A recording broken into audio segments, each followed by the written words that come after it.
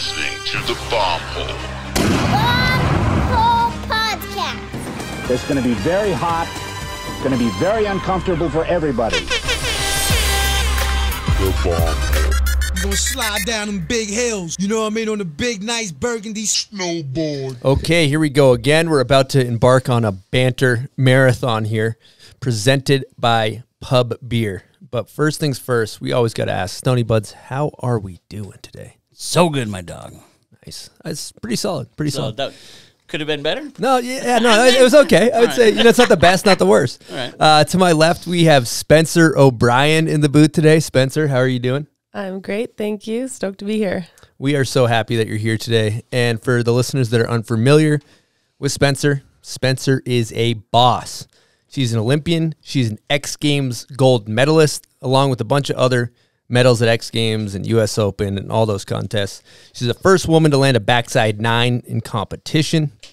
She is one of the only few Olympian slash snowboarders coming out of Canadian First Nations. She's a huge inspiration to snowboarding as a whole. She's got a very unique, inspiring perspective, which we'll get into.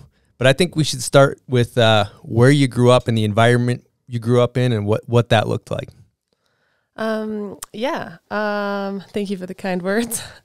um, I grew up in Alert Bay, British Columbia, which is a very small island off of, yeah, big time an air air, horn. air horn for that place. Uh, actually has the world's tallest totem pole. So Wow, got- another air horn. How, Yeah. how tall is that? uh, I think it's like 170 feet. That's Yeah. a big totem It's, pole. it's a big one. Um, but yeah, I grew up there um, until I was kind of like in grade school. And we moved to a bigger town on Vancouver Island, um, just kind of for access to school and sports. But learned how to ski when I was like two, and then finally traded in for the, the old board when I was 11. And that was Mount Cain, correct? Yeah, yeah, it's like super tiny little co-op uh, ski hill on the north end of Vancouver Island. It's it's like a going back in time that place. And your mission to get there sounds like it was pretty exciting. Like you had to take a ferry and then all that. Um, yeah, we'd take like the first ferry from Alert Bay, which would be like six in the morning, and then it's about a forty-five to an hour long drive to the top. So you know, kind of like good couple hours um, to get up there. And we never had a place up there as kids, so we would do that drive every day with the ferry. And my dad just, I don't know, he loved he loved it. So we would go up there every weekend um, as as kids, and that's where we all learned how to ski. That's so sick. I was watching some footage on YouTube of uh, your dad, and he seems like a ripper. Like he's like 50 50, 180 in boxes. Yeah, it seems like he's kind of putting a beat down on the park. Oh yeah, um, I've nicknamed him the mayor of Blackcomb Park. yeah, big time air home for for my pops. If if anyone's ever ridden Whistler, they have met him. They've ridden a chairlift with him. He's rattled off a ton of contest trivia.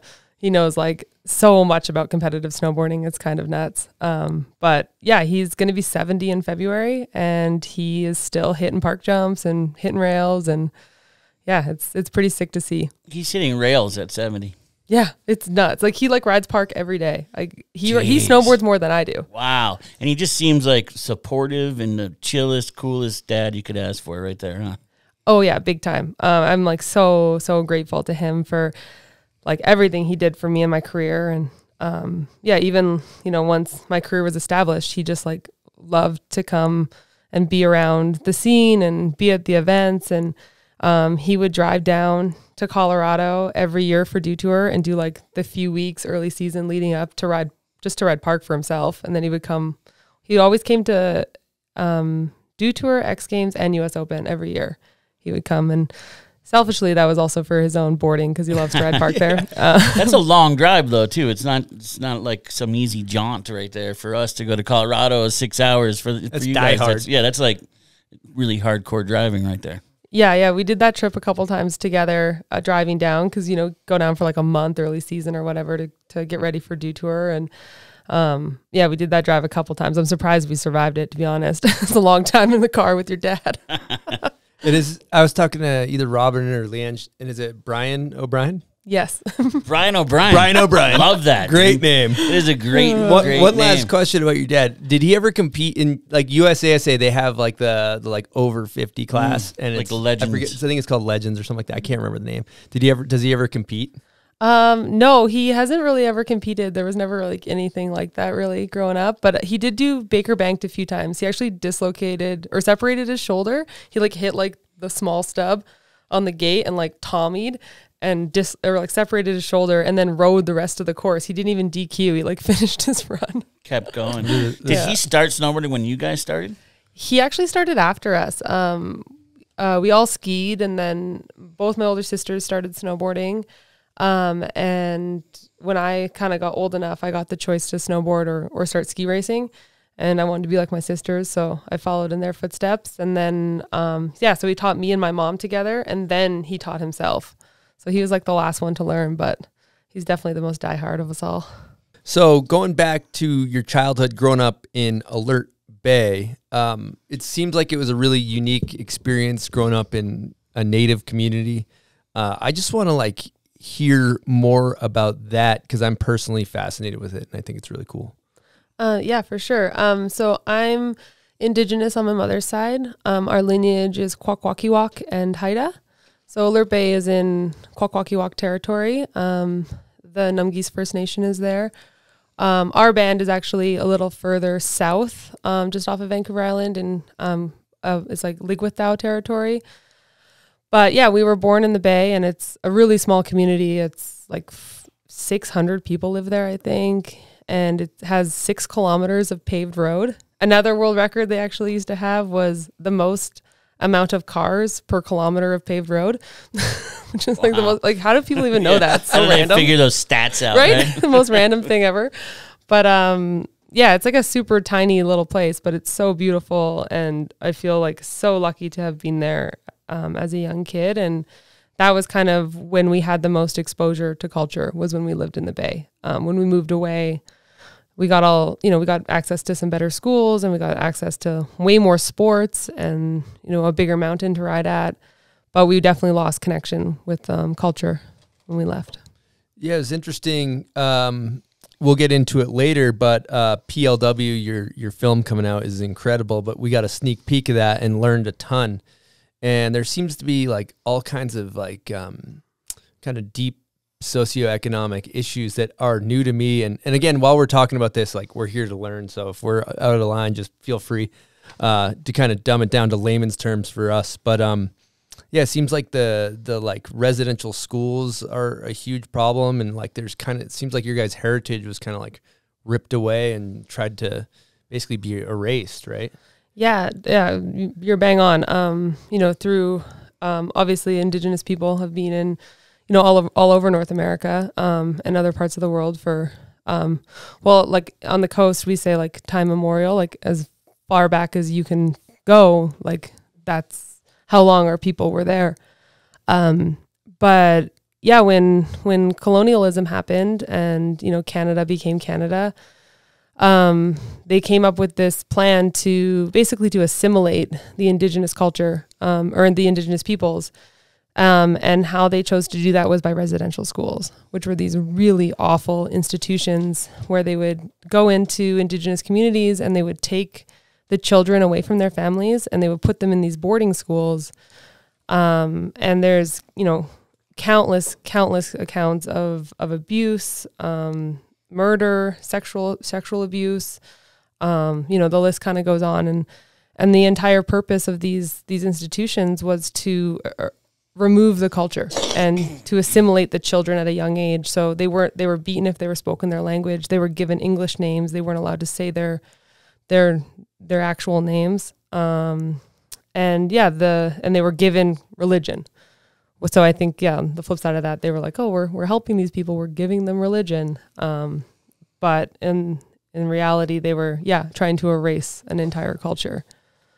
Yeah, sending you to like sending people to to make you white academy basically, and like Yeah. erase your Yeah, erase your take it's take like, the it's so language up. away. Yeah. Take all your all your customs away and strip it down. That's horrible. Yeah, it was it was awful, and um, you know, I think not a lot of reconciliation had been done um, up to that point. and this is like really recent. The last residential school closed in 1996. Really? Yeah.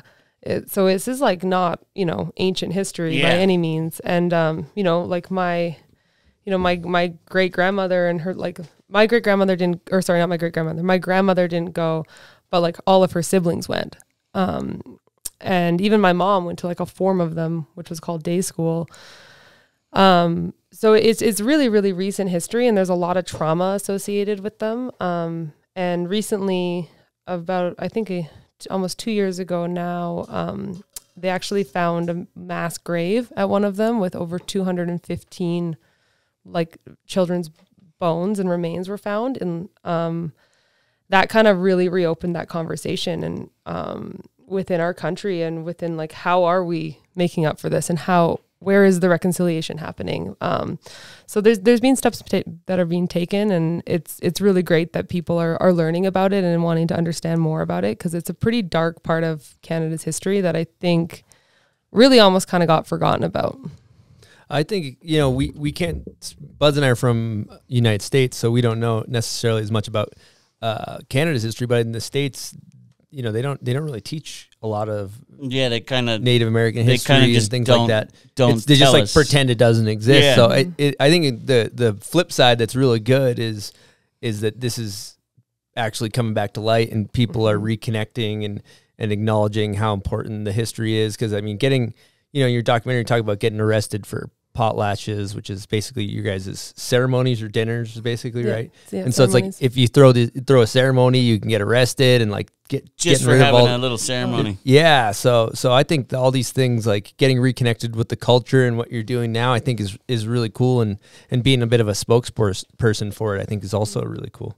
Thank you. Um, yeah, it's it's been really special for me to, yeah, kind of unpack that part of myself. I, you know, I I really kind of put it on the back burner for most of my life, and it's just been really empowering and really enriching, and just I don't know, you know, I just like I feel like I know myself so much more now, and uh, and yeah, and it's great. It's just I think you know what you just said about America. It's the same in Canada. Like growing up in school, we didn't learn very much about Indigenous culture, and it's like that is Canada's culture, like that, and it's it's America's as well. And um, yeah, it's just cool to see that it's it's coming back to light, and people are interested in learning more, and and um, yeah, it's kind of giving all all the different nations and tribes that power to kind of reclaim again. And we got a gift uh, for the listeners that can't see what I'm holding up. Why don't you explain what this is? I'm gonna rock this. I'm gonna rock this chain. Careful, don't get that caught in your lip. yeah, yeah. um, we got ourselves a grenier already. Big catch, big fish. um, yeah, so I wanted to bring you guys something, and I was kind of struggling, thinking about what to bring, and I figured I should bring you something that really represents me and my culture. And this is a traditional Haida halibut hook. My uh, niece's grandfather, uh, Eugene Davidson, makes them, and yeah. Yeah, Chinny Jean. but yeah, this is um, exactly how a halibut hook would have looked like, uh, you know, hundreds of years ago, and it's how the Haida people um, provided for themselves. And it's wood, and um, I think these ones are yew wood, uh, and then bone. And so, yeah, it would float down to the bottom, and then the fish would unknowingly take a little chomp out of it, and next thing you know, you got a big old halibut or a big old grenier. Exactly. That's really cool to see just how a handmade tool to catch fish looks like. Because we're here, we just go to Walmart and pick up a lure and don't catch halibut with them, but with trout and all that. It's just really cool to see that. Yeah, this is you know it's cool. It's like uh, you know at the bomb hole, you, you come for the snowboarding, you maybe you learn a little bit about life. Well, out- you know? exactly about life. Incredible. Um, we'll we'll get back into that stuff, but let's let's maybe change gears and talk about um, kind of your arc of your career and how things got started and and where did things really start turning on for you, where you you dove into to snowboarding and like you're like, all right, I think I I can do this or want to make something of it. I guess for me it was kind of when you know I was I was growing up I was doing some small contests I was like doing it on the weekends and a lot with my family um, and my older sister Megan was doing pretty good um, competing at like local events and um, I guess when I was about 15 slopestyle kind of became a thing because before that it was like always just pipe contests and I, I was into pipe, but I wasn't very good at it. I really didn't like hiking.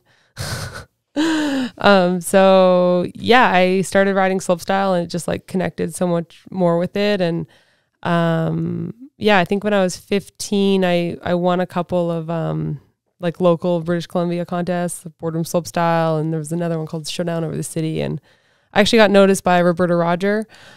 Yeah, air horn. Um, and her and Sean Kearns had a um, a small agency called Infamous Management, and they kind of they took me on. So they were a big help in the very beginning of my career, and uh, ended up, yeah. I re- at the time I rode flow for like Burton and Dragon and Etnies, I think, and yeah, kind of just went from there. But yeah, Roberta and Sean were really great. They helped me get into like I think my first ever big contest was the triple. Well, it was Vans Triple Crown, but it was when they did like the bar event. It was like best all around rider. They had this like crazy course at Northstar, and I remember going there when I was like 16 and just being like, "What am I doing here? Like, I have, I can do like a backside 180. Like, what? How did, who did we fool to get me into this contest?" But yeah, kind of that was the first time I kind of got to ride on that kind of stage, and it kind of just carried on from there. One of the things that is fascinating and incredible and a testament to just the drive and, and the motivation uh, is that it sounds like you used to write letters to somebody over at Burton and send like contest results and stuff and like um, and basically from from what I understand you maybe got sponsored uh, a big part of it was by you essentially sending a bunch of letters That's to so Burton cool. right Just throw the old results in the in the envelope, send them on the way.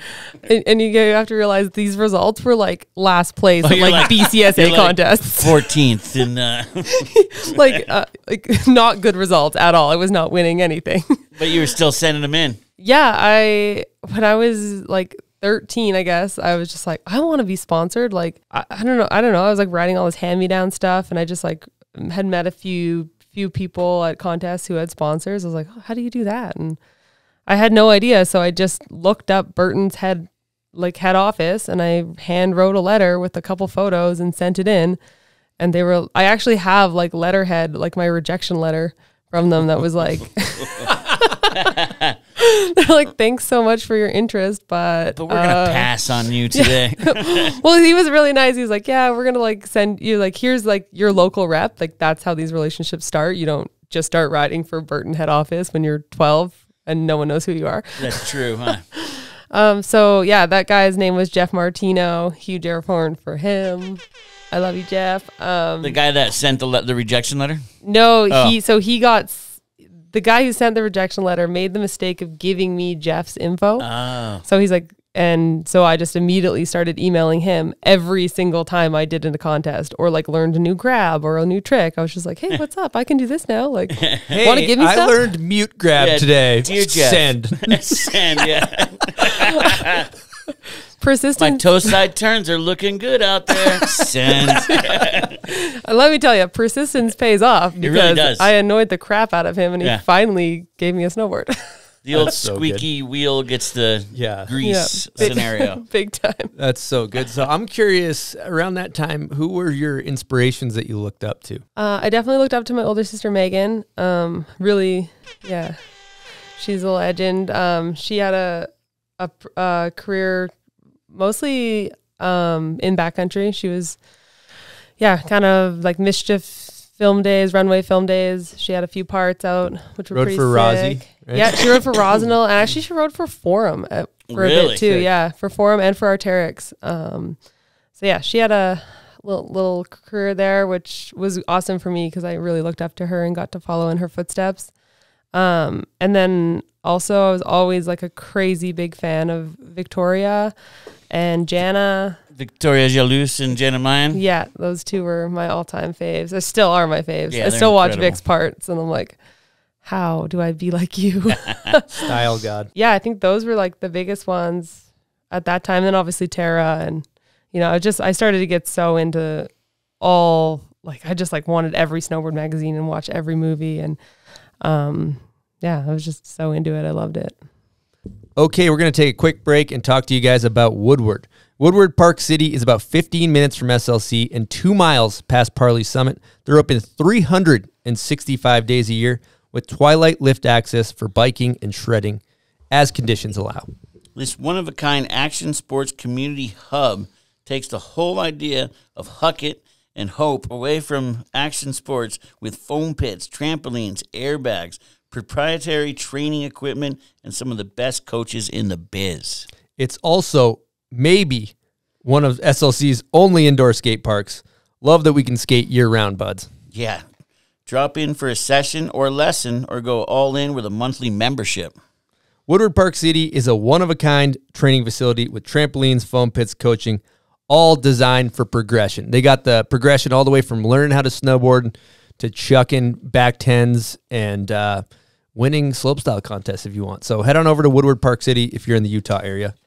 All right, let's get back into it. Now, I want to talk mindset. Let's get into the hard hitting topic of mindset because I was watching some YouTube videos doing our deep dive research.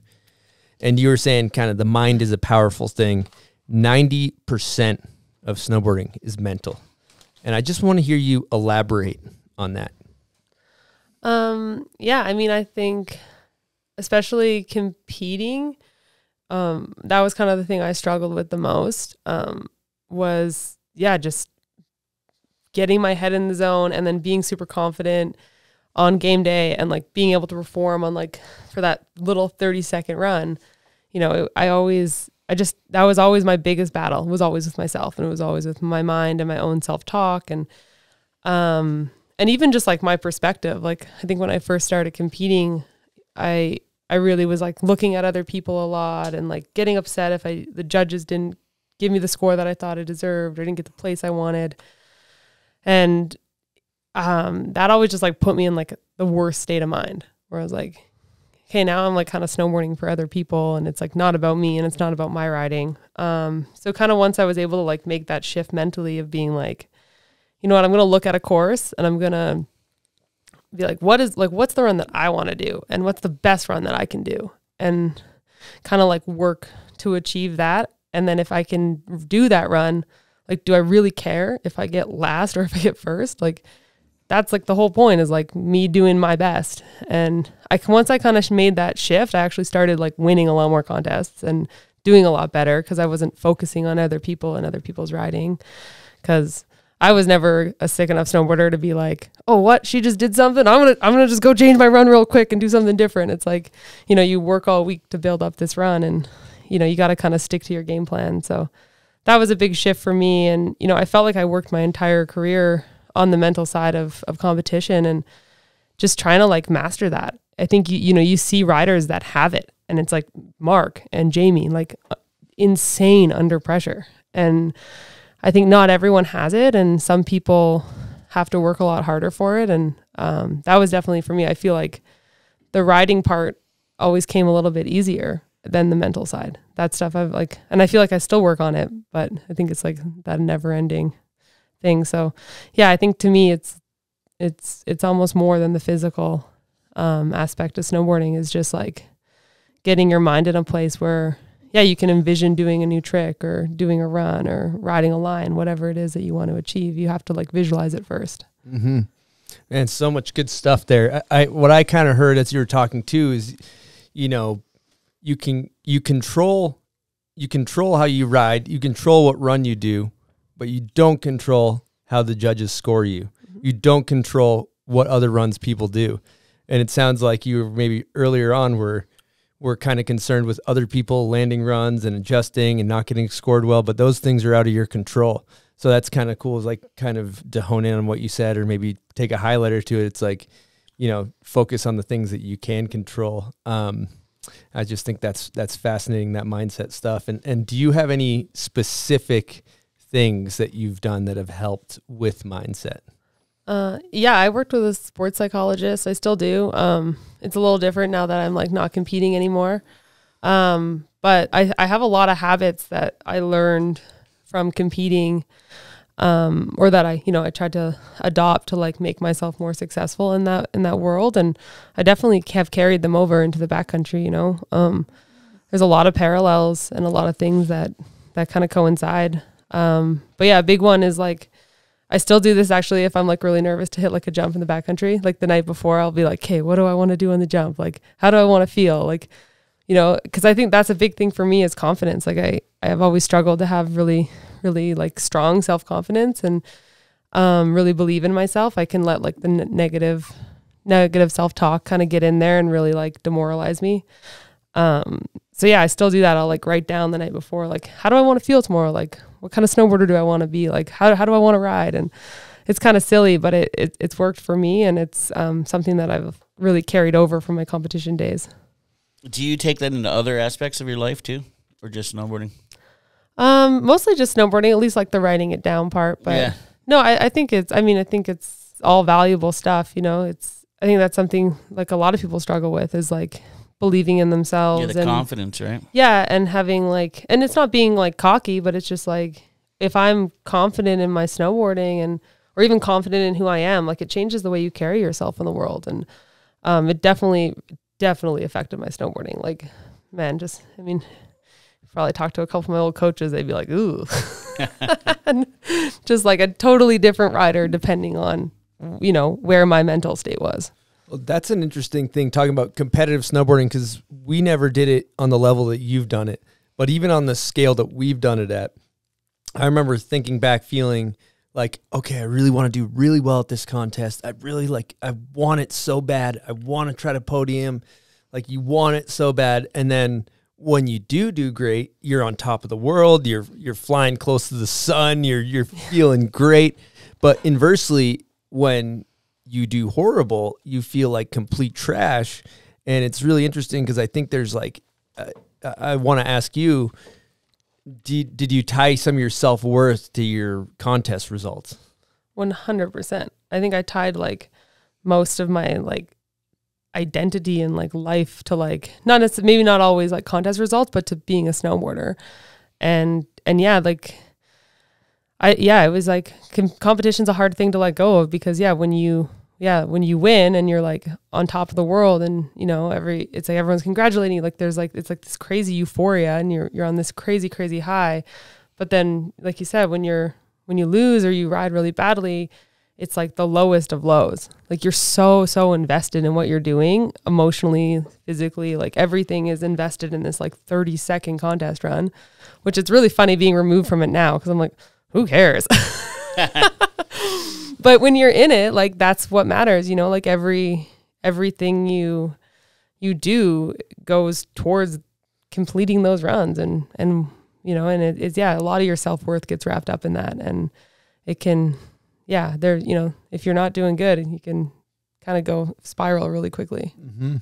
I think what you said too is something that, that is really important. Earlier, you're talking about self talk.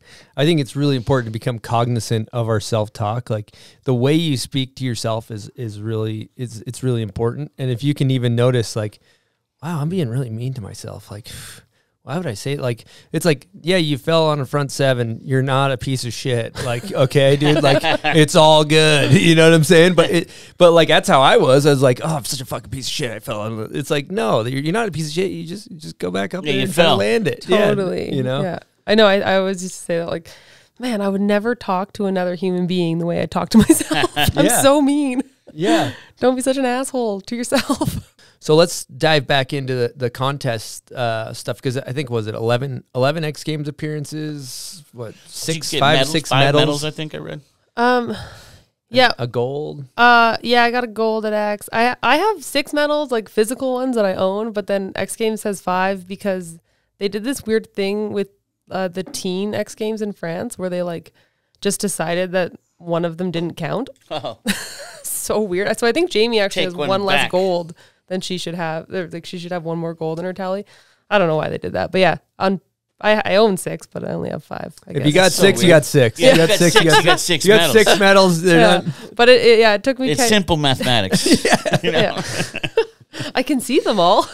um, but yeah, no, it took me 10 years uh, to win gold, which was pretty cool. I was glad Ten I- years for your first gold. Yeah, I was pretty glad I finally got that one because, I mean, X Games to me was always like, that was it, you know, like there was an Olympics when I started riding slopestyle and um, it was kind of always something I guess I hoped for a little bit was to get to do that. But X Games was like the end all be all. Um, and I had pretty much won like everything else. I just like hadn't won X Games, and I was really getting to the point where I was like, "Ooh, is this ever gonna happen?" Like, shit, I'm running out of time. I can just imagine the announcers talking about that story, the build up to gold, ten year journey. yeah, it was it was cool. I was um really really stoked. Um, I yeah, it's like that's like my favorite win and our favorite contest experience. I think um that I have and. I, I, just remember watching Jamie because I, I like dropped pretty low in the order and I think it was my second run that one. So we had like a whole nother round and I did my run and I didn't, you know, improve my score or anything. So I just had to sit there and watch like everyone else ride. And I remember Jamie Kane uh, came was coming down and I was like, oh man, I'm so screwed. but yeah, then they they gave it to me and um yeah, it was like yeah, I was just so stoked. It was awesome. It is cool watching a bunch of your old contest runs and seeing your progression of your snowboarding too in those runs. Um, and particularly the one that was kind of baloney. Like you put down the first back nine in competition, and which was monumental move. But then you got kind of uh, you got kind of dickered on the score on that. Um, Dickard. Yeah. Yeah, I, I have like a this is another thing X Games did that like drives me up the wall a little bit is um I'm not the first woman to do a nine in competition and I'm not even the first woman to do a back nine in competition. Oh, really? They Yeah, just I don't know. Put that out there. They just like they're just like so clickbaity. X It Games. is. A, yeah, that's they a have to like caption. build build that up. It's like I I, I literally correct it every time in every interview, and it's like I don't know. It it's just like this thing that I can't shake now. That I almost just want to like be like, yeah, sure, I'm the first yeah, one. it's easier. Well, it's cool to talk about. easier Yeah, to yeah. Be like, ah, whatever. Um, first but I would like to say that Janna Meyen. yeah, I was gonna say. Yeah, I was gonna say we. I think we talked about it on the show. yeah, once. Jana did Cab Nine. I think in like 2010 or 2011, like um, long time ago. It was off the toes too, super sick. Um, and so that was in Aspen, and then also Cheryl Maas did Back Nine in teen. I think a few years before the one that I did in Aspen. And I remember talking to X Games about it and being like, "Why did you guys say that? Like that's not true." And then they tried to say that Janna didn't land Cab Nine, and I was like, "I was there. She definitely landed it." Oh, you were even there. Yeah, I was like, she definitely landed it. I watched it in person. And then they said that because Cheryl did back nine at the teen that doesn't count. This is some bizarre. And they're really they're just trying to build up their like hype for the show. well, you know, that didn't happen. Yeah. it wasn't Yeah. a competition. But I don't, it, you know, it's it's how it's and this medal doesn't count either. You only have five.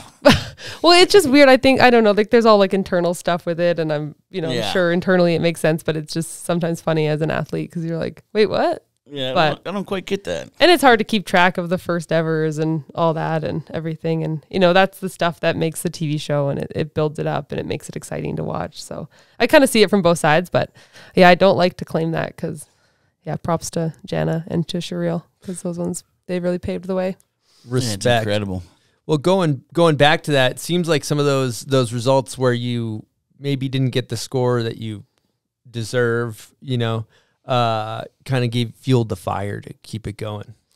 Yeah, big time. Um, I mean, that that event for sure. Like that run wasn't like I was riding super good at that contest. Like I, I did that run so many times in practice, so good. And and then my actual run, I just like I was kind of sloppy. I like kind of slapped a couple grabs. Like it, it just wasn't as good as it could have been. So I was like bummed, but I kind of like understood a bit as well. Like it still got to look good. And um, but then I did back nine again that year at US Open, and um, I th- and I was like that that one I was really bummed about. I think I got third, um, and yeah, it was it was funny. I remember Anna's interview. She she got second. And she was like, I don't get it. Why didn't Spencer beat me? I don't get it. she just like fully called it out, and I was like, I love you. That's always when it happens like that. That's always good because even the rider knows themselves. You know. Yeah, I think it's like you know I always yeah I think it's nice too when your fellow riders like you Yeah. know say like that that that's worth a lot too, you know and but yeah Anna's Anna's always had my back. She's she's I love and a that gasser, girl. we're talking Yeah, about. right? ga- yeah, give gasser. Put on the gasser. Yeah, she's Gas a, her she's up. a boss. Uh, around that time too, you were on. That was when Nike was was uh, kind of coming, just dropping some coin. Yeah, just in, coming in in- this coming in in the heavy. snowboard industry. Uh, how was it being a part of the the Nike the Nike wave. Oh, it was good times. You're surfing the Nike wave. so eh? good. I remember when it ended, Austin Smith texted me and was like, "Well, it was a good ride." That's so rad. I heard they took care of you guys, Yeah. like the contest. Like you guys got put up in nice hotel or nice Airbnbs and all that, and like first class tickets. oh, it was nuts. I kind of missed the first class ticket era. That was like Nike snowboarding. Um, days when I think there was like a company clause where when they flew athletes, they always flew you business. So I think they did one or two snowboard trips with like all of Nike snowboarding, and then they were like, "We're not doing that anymore." they, they looked at the bill on that. but yeah, I got I got I got a couple business class tickets for sure out of that deal, and um yeah, it was just like I we felt like freaking royalty. Like we would go to like X Games and they'd have. I remember one year we had two like fifteen million dollar houses like side by side, and we had a pianist at dinner who was like playing us dinner music and like chefs and physios and it was just like the whole nine yards all the time. And it was pretty wild. Um and actually it was so funny. I remember um someone posted a photo of us. I think we were at Dew Tour and it was like all the contest kids like we were at this house in in Breck, huge mansion in Breck, and someone took a photo, like the whole crew, like sitting in the in the, this giant living room, and um, Bobby Meeks was the TM at the time uh, as well. yeah, Bobby. Yeah, Bobby. Um, and he was on a trip with like Austin and um, like Bennee and a bunch of the rail guys, and they they sent like a return one, and it was like eight guys in, in like a two bedroom like motel, and it was like Nike contest They're versus sharing, Nike sharing Street. beds over there in the streets.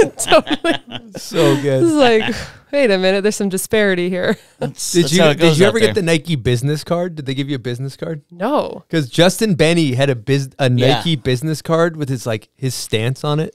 What? And we would go on snowboard trips, and like a security guard would be like, "You guys got to get out of here." Be like, "Wait, uh, here's my business card. I'm a professional athlete for Nike," and they'd be like, "Oh, dude, yeah, you're good. No, you guys are good." You guys are good. no way. You get the, the biz card. Well, That's- let's let's talk cheddar biscuits. Did Yes. they did they have a like pretty insane um uh like incentive like if for matching for contests? Um, they didn't do like contest matching. I, I think I missed that era of snowboarding. Um, which is That's a real shame. real shame. Yeah. um, but no, I mean they paid us so well, and yeah, I think if if I won X Games, my bonus was like ten or fifteen grand. So it wasn't like matching, but it's like half, like mm-hmm. you know, ten grand. I think X at the time was like twenty nice little k. bonus. So yeah, that was yeah, it was pretty nice. If you did, if you were like really doing good at contests, like I'm sure Peetu was like cleaning up because at that time he was just like winning everything and. Yeah, he he had a parking spot actually at, at He headquarters. did? Yeah, all like the executives have like reserved spots, and they all have like an athlete name, and it was like Federer, Serena Williams, Peetu Piiroinen. Wow. That's sweet. And the boxes, the sneaks were nice. Probably I'd I bet imagine. they're real nice. Jordans, everything. It, it was it was a really good time, and I mean I know lot, lots of people weren't that down with them being in snowboarding, but it was super fun brand to ride for, and the people that worked within Nike snowboarding were so rad, like. John Weaver, I mean Brian Craighill, like s- yeah, Craig Hill, too. Craig Hill, yeah, like so many uh, awesome people that like really cared about snowboarding and really made that brand um, special for the time that it was around. And the boots were freaking awesome. I'm like actually, yeah, it took me a long time. I'm finally riding Vans now, and I I find finally found a pair that I like. But it took me like five years to find a pair of boots I liked after they ended. yeah. Until well, once they realized there's there's really not that much money in snowboarding. Yeah. Dude, they had Sorry, to know Nike. it. They had to know it going into it. Pretty it. small. It's I not, think I had heard it was just more of the perception they were trying to capture, you Mm-hmm. know, and originally they weren't after the dollars until a uh, position switched. A new guy got in there, looked at the black and white, and just, we're out of here. Yeah, Just yeah. super quick decision, split decision. It was actually this really cool dude, uh, Sandy Bodecker. Um, he's passed away now. Rest in peace, Sandy. R.I.P. Um, yeah, he was an absolute legend. He's like the guy that went to Phil Knight and was like, after Nike had tried to break into soccer like a few different times and to no success, like, and um, he went to Phil Knight and was like, "Yo, I I can do soccer. Like, I can take it."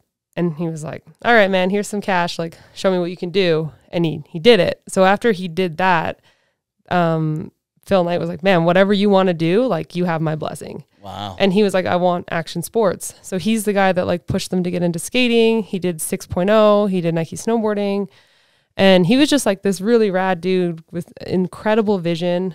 And yeah, I think he looked at action sports not as like necessarily like we're gonna make as much money as running off of these sports, but we're gonna bring in like this entire other clientele that otherwise won't touch our brand. You know, because at that I remember when Nike first started, like no one wore Nike shoes ever. And exactly. Never. you know, so it did. It, it created like did this huge perception perception change. And I think a lot of people in the industry started to buying into that brand after after that. So and then you're totally right. Like Sandy stepped away from that role and a new guy came in and was like, This doesn't make Yeah. us any money. Let's get out of here. What are we doing here, Chop? Yeah. No more uh, first class flights and business cards The and gravy train ended. yeah, trips No to. Russia just for fun. Getting serenaded by a piano while eating dinner. yeah. for While no you're eating, I wonder what that costs on the budget line. like It's like, What's dude, the piano should, Should budget? we have the pianist come in today, Chris? that was gonna be a thousand dollars. Yeah, we, we got that. You know what we call that, bud? We call that burning that. some Let's budget. let's burn some budget. Let's burn some budge. Let's get some more budge burners back in the industry. Yeah, we need some more. we budge need some more burners. budge to burn. Um, going back to uh, contests, I'm always fascinated with the pre-run ritual. Did you did you have did, were you there doing me. the like you know wax on wax off or Yeah, I'm I'm one of those people for sure. Um, I had a lot of funny. uh, What's the word I'm like Superstitions. Yeah, Um, superstitions. Take us through your pre pre run ritual. I was Um, gonna say pre roll. Well, the night before, before literally before every contest final, I had a steak. Like no matter where I was in the world, I would like hunt down a steak and have a steak. Um, I think like a trainer told me that when I was like really young, like, oh, you should eat like lots of protein, like a steak would be great. And then I just it became this weird superstition where I had to have a steak before every contest. And then the next day, um, I had like every season I would pick like my favorite two pairs of socks. So I'd have a semifinal sock and a final sock. I washed them.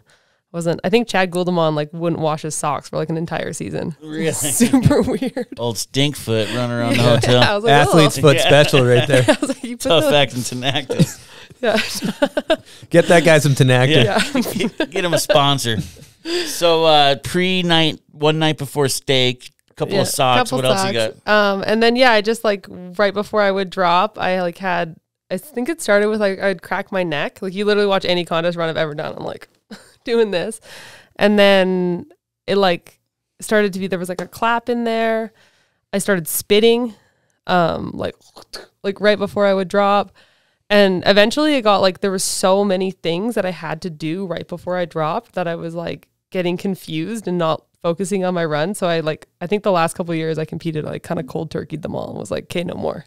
This is ridiculous. You don't even remember if you got them right or not, so then you Yeah. can't win basically. And also, like, if you did it. I saw a couple foot couple runs of me like spitting on camera and was like, okay, that's not really a good look.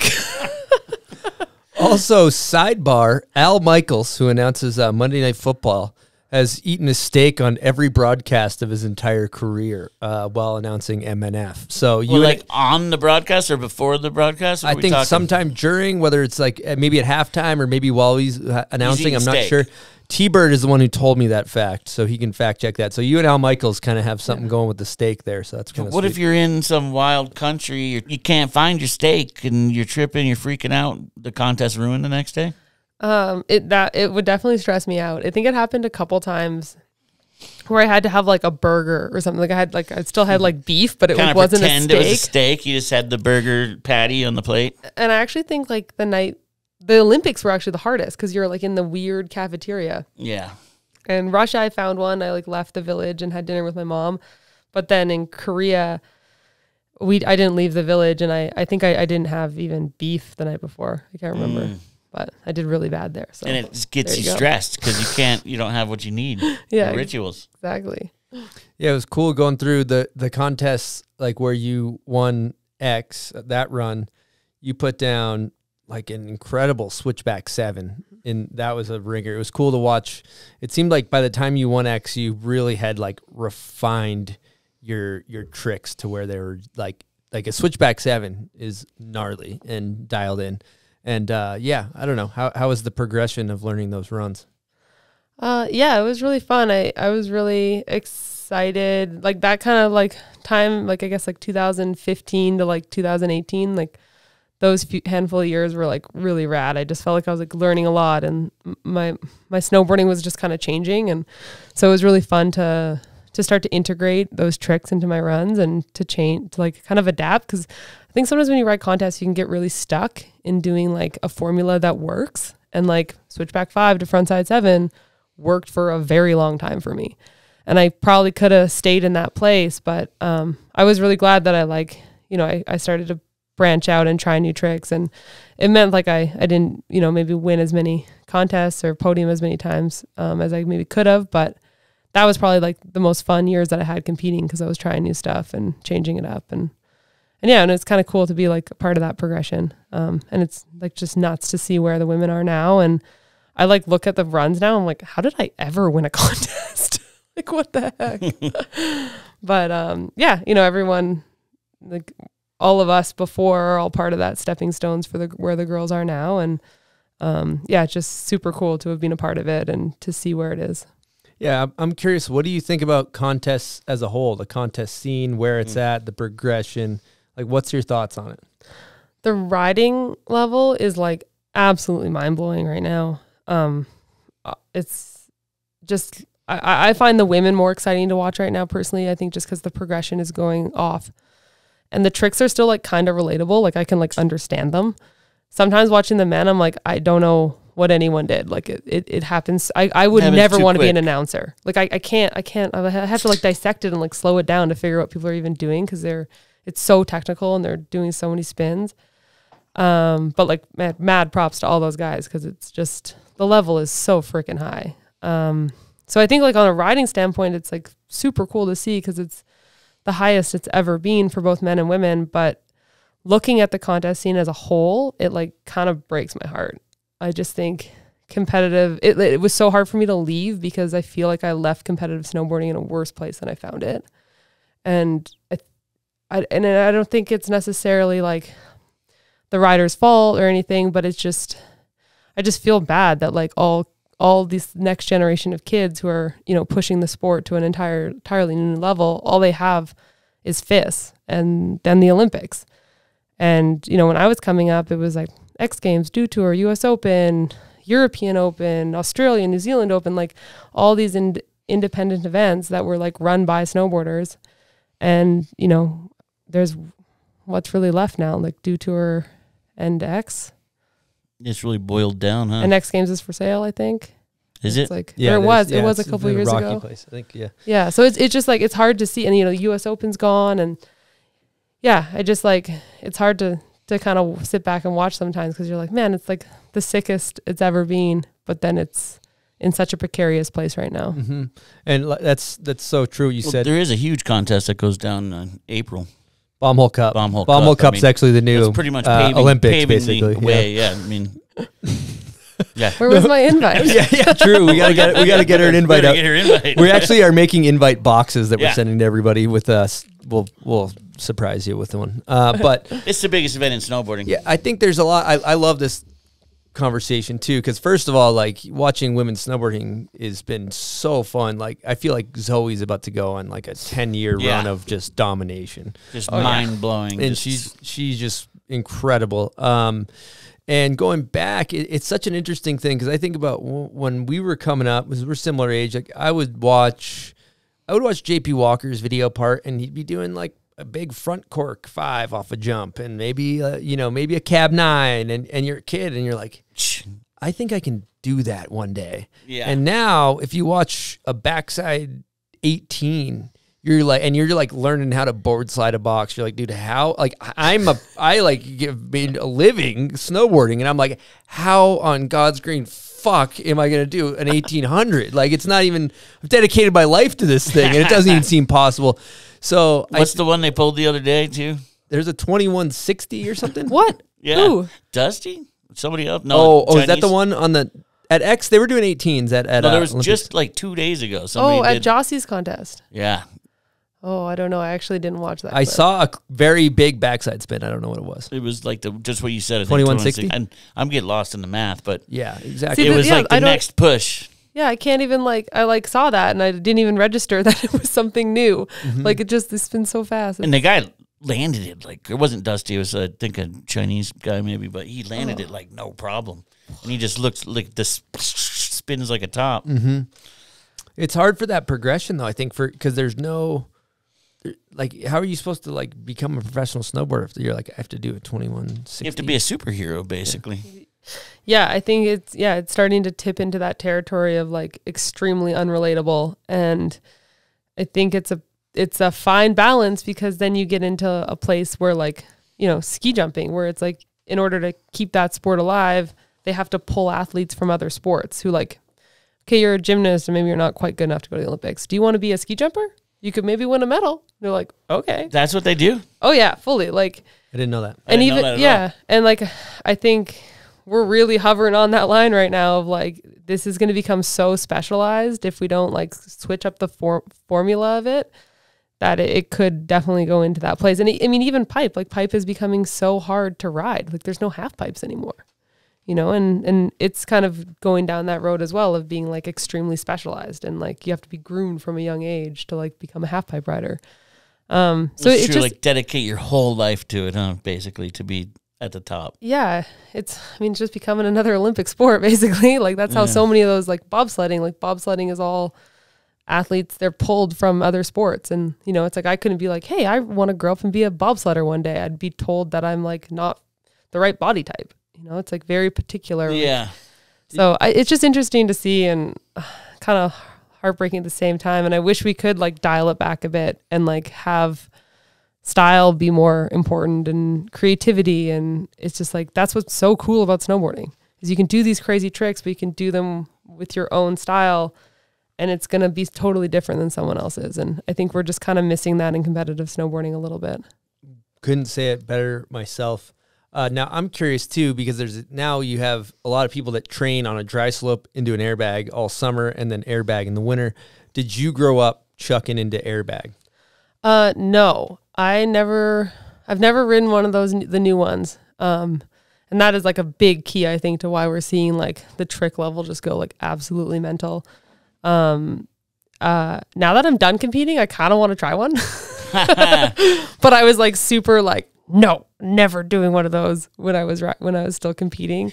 Um, but I did hit one of like the big flat ones. Like I feel like, I don't know, like 15 years ago, 10 years ago, they Big had flat those. airbags. A Yeah. Bag jump or something? Yeah, and they were like they they're always super kicky, like step up takeoffs almost, and then you'd like I don't. They actually just really hurt. They kind of sucked those things. I think I hit one a handful of times and was like, I don't. Like, I'm gonna get hurt riding this thing. Now, now I have a theory going back to what you were talking about earlier. How you know snowboarding is this very stylish thing, and we're missing the point with the 2160s, and we're getting into dangerous territory and, and all that stuff. And and everybody says, well, you can't you can't put a limit on rotations, or you can't put parameters around it because that stunts progression. But what you can do, my theory, that um, you know, and I don't know enough about this world to say, but I'll just come in and give my advice because I think that this could solve some problems. But take one jump on the course. Maybe it's not the the the bottom jump, but maybe it's like one of the small uh, smaller setup jump, and maybe it's a fifty foot jump or sixty foot instead of an eighty or whatever. But it can even be a big jump, and you just simply on this jump style is awarded higher. Like we are going to we are to we are to score style higher than difficulty because it's all of it's based on difficulty which is like essentially rotations and then a little bit of style underneath. It's like styles. Well, why not just put style on the forefront of one of the jumps and then difficulty underneath? Seems like a problem solver to me. Dude, that would be awesome. Just the style. I always We thought that for see. for big air it would be cool to like have one jump. Like maybe I think right now they do like whatever your two best jumps, your two and you have to spin different directions. Um, but then your third do a third jump that like rotation actually and diff- and technical difficulty like actually don't even have a place in the score. It's literally like whatever you think is your best looking trick on a snowboard, That's do cool. that. You know, like I remember there was one X Games where Mikkel did like this transfer. He actually hit like the border cross take, or maybe he took hit. I can't remember. He transferred either from like the border cross takeoff to the big air landing, from the big air takeoff to the border cross landing. I can't remember which this? way. Mikkel Bang, Airhorn. and he um he did like the sickest back rodeo five and got like two points. Because they didn't they didn't understand. They were like, Well, they're- he messed up. They're just like it's big air. You're supposed to do a bunch of spins. Like Yeah. he just like like it was like the most like aggressive like sign from the judges. Like this is not what we want to see. And I was like, there should be a place for something like that. Like that was like one of my like I don't remember what anyone else did that contest, but I mm-hmm. remember You what remember Mikkel that? did. Yeah. Yeah, and you always will. Yeah, and I, I I think there's like a play. I just think the contest maybe need because everyone is so freaking good night right now, and everyone can do all the tricks. They can hit every. They can just do everything. So that the format I think needs to be changed, and I think the way, yeah, the judging and like the actual like slope style big air formats need to shift to like accommodate how talented everyone is now. A hundred percent. Couldn't say it better myself.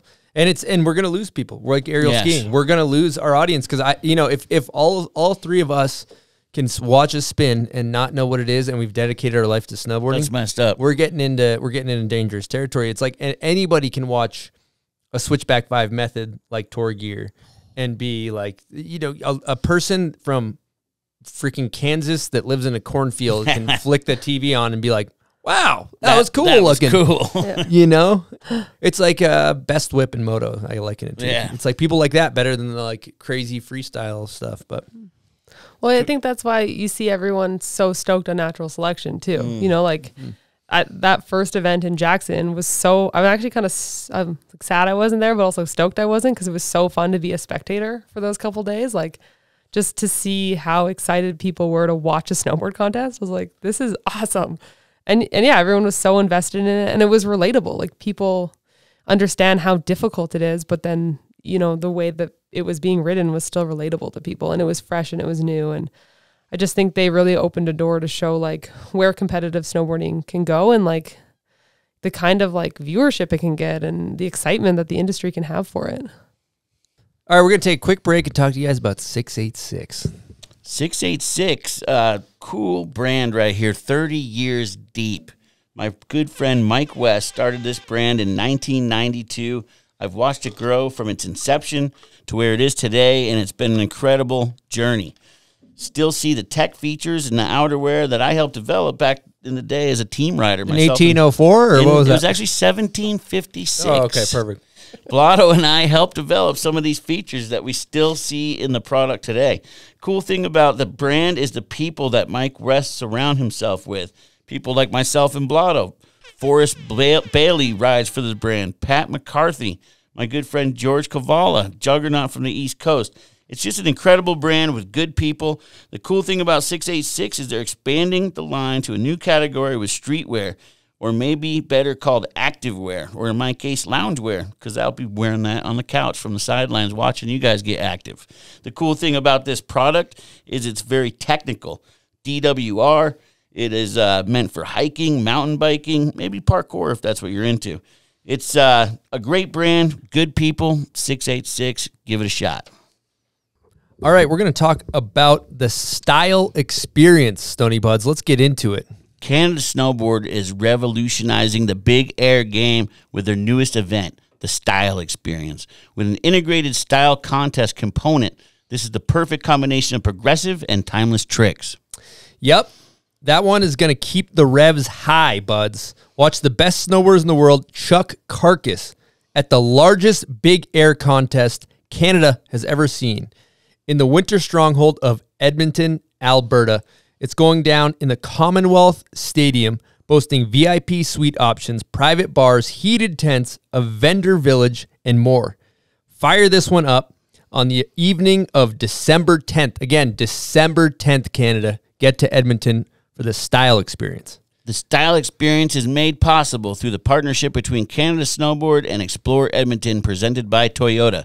Get on your most stylish winter gear and secure a spot at the winter event of the year on Ticketmaster. The style experience. That's pretty cool. Uh, talking about, we were literally talking about how we need to put more style in in contests. So check that contest out. Um, going back to contests, though, I was just thinking about this. You rode for Nike. You got all these sponsors. You're you're doing X Games, Olympics. There's a tremendous amount of pressure. How did you deal with the pressure? And did the brands put more pressure on you, or did you put more pressure on yourself? Yeah, I think I put more pressure on myself.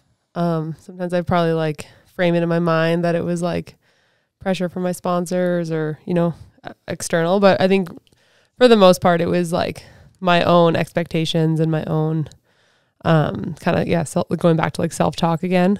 Um, but yeah, the Olympics were a weird one. I feel like I was like pretty ready mentally for that, and then I had like some health stuff come up before, and yeah, just it, yeah, kind of everything went out the window. But yeah, the that I mean, the Olympics are kind of just another beast altogether. They're a lot more media scrutiny and just all this stuff you don't normally have to think about because it's you're never ne- never get asked it, and then all of a sudden it's like like my heritage was a huge one going into um, Sochi. All of a sudden, everyone was like, "You're Canada's Indigenous athlete," and I was like, "Why does that matter?" Like, I had never been like identified as that before. As like, it was always about my snowboarding, and it was always about you know, um, just what I did on my snowboard. And then all of a sudden, that was like all anyone wanted to ask me about, and I was like, oh, I don't know the answers to any of these questions, and like, can we talk about my snowboarding, please? They give you Killer. any media training for that, or you just they just threw you to the wolves? Uh, I never did any like traditional media training. Um, probably should have.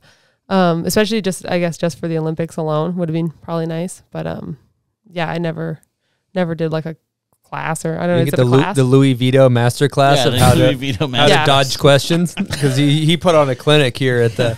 We we'd ask him a question and we didn't even his answer. We weren't even sure what happened. It Yeah, was- nobody knew. he's what got. happened. He should do a master class on media. Dude, we should almost hire him and have our own class, right? Media training for these these athletes. the athletes. bomb hole masterclass bomb with hole Louis Vito. masterclass. With Louis Louis Vito, get you guys in there, and it'll be amazing. I mean, I'm pretty good at that too. If there's something I don't want to talk about, I'm I'm decent at deflecting. Deflection. It's all Yeah. about Yeah. deflection, right?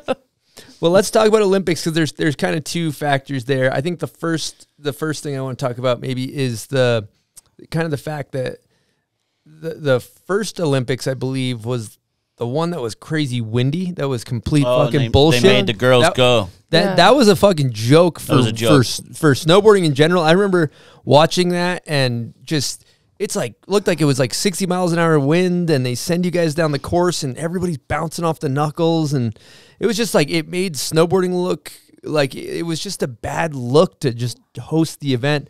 You were a part of that. How was the experience for you in in uh, the you know the world stage? You've done all this work and all of a sudden it's they send you down 60 mile an hour wind course. Oh yeah, that that was the 2018 games in Pyeongchang, and that one was like a heartbreaker. Um, I was like definitely less of a contender at those games. I would say um, I was kind of having like a rough like year mentally going into those, um, and then I actually blew my knee at X Games 10 days before. Um, so I was like, "Whoa, I don't know what I'm doing here. Why am I even snowboarding? Like I'm so hurt. I should just go home." but uh, I wanted to see that through and and then to like and i think like that was a really cool year for women snowboarding too because there was still like a lot of like my generation was still riding um but then also there was like you know it was like anna and um like it was like Tess Coady was there and like there was like all like the young girls that were like kind of coming up. And that was like i think a really big like pivotal year for women snowboarding. So i think those games could have been so cool because there was so many new tricks happening and I don't know. I just like, I, I felt like we were all robbed of that. And, you know, you work so hard for four years and people put so much pressure on this one contest and, and then that happens. And it's like, seriously, is this, is this how much we're worth to, to this organization? Like, why do we all care so much about it if this is the way that we were treated? And the hardest thing about that day was they never talked to us. Like we never had a riders meeting. They were never like they just kept postponing it.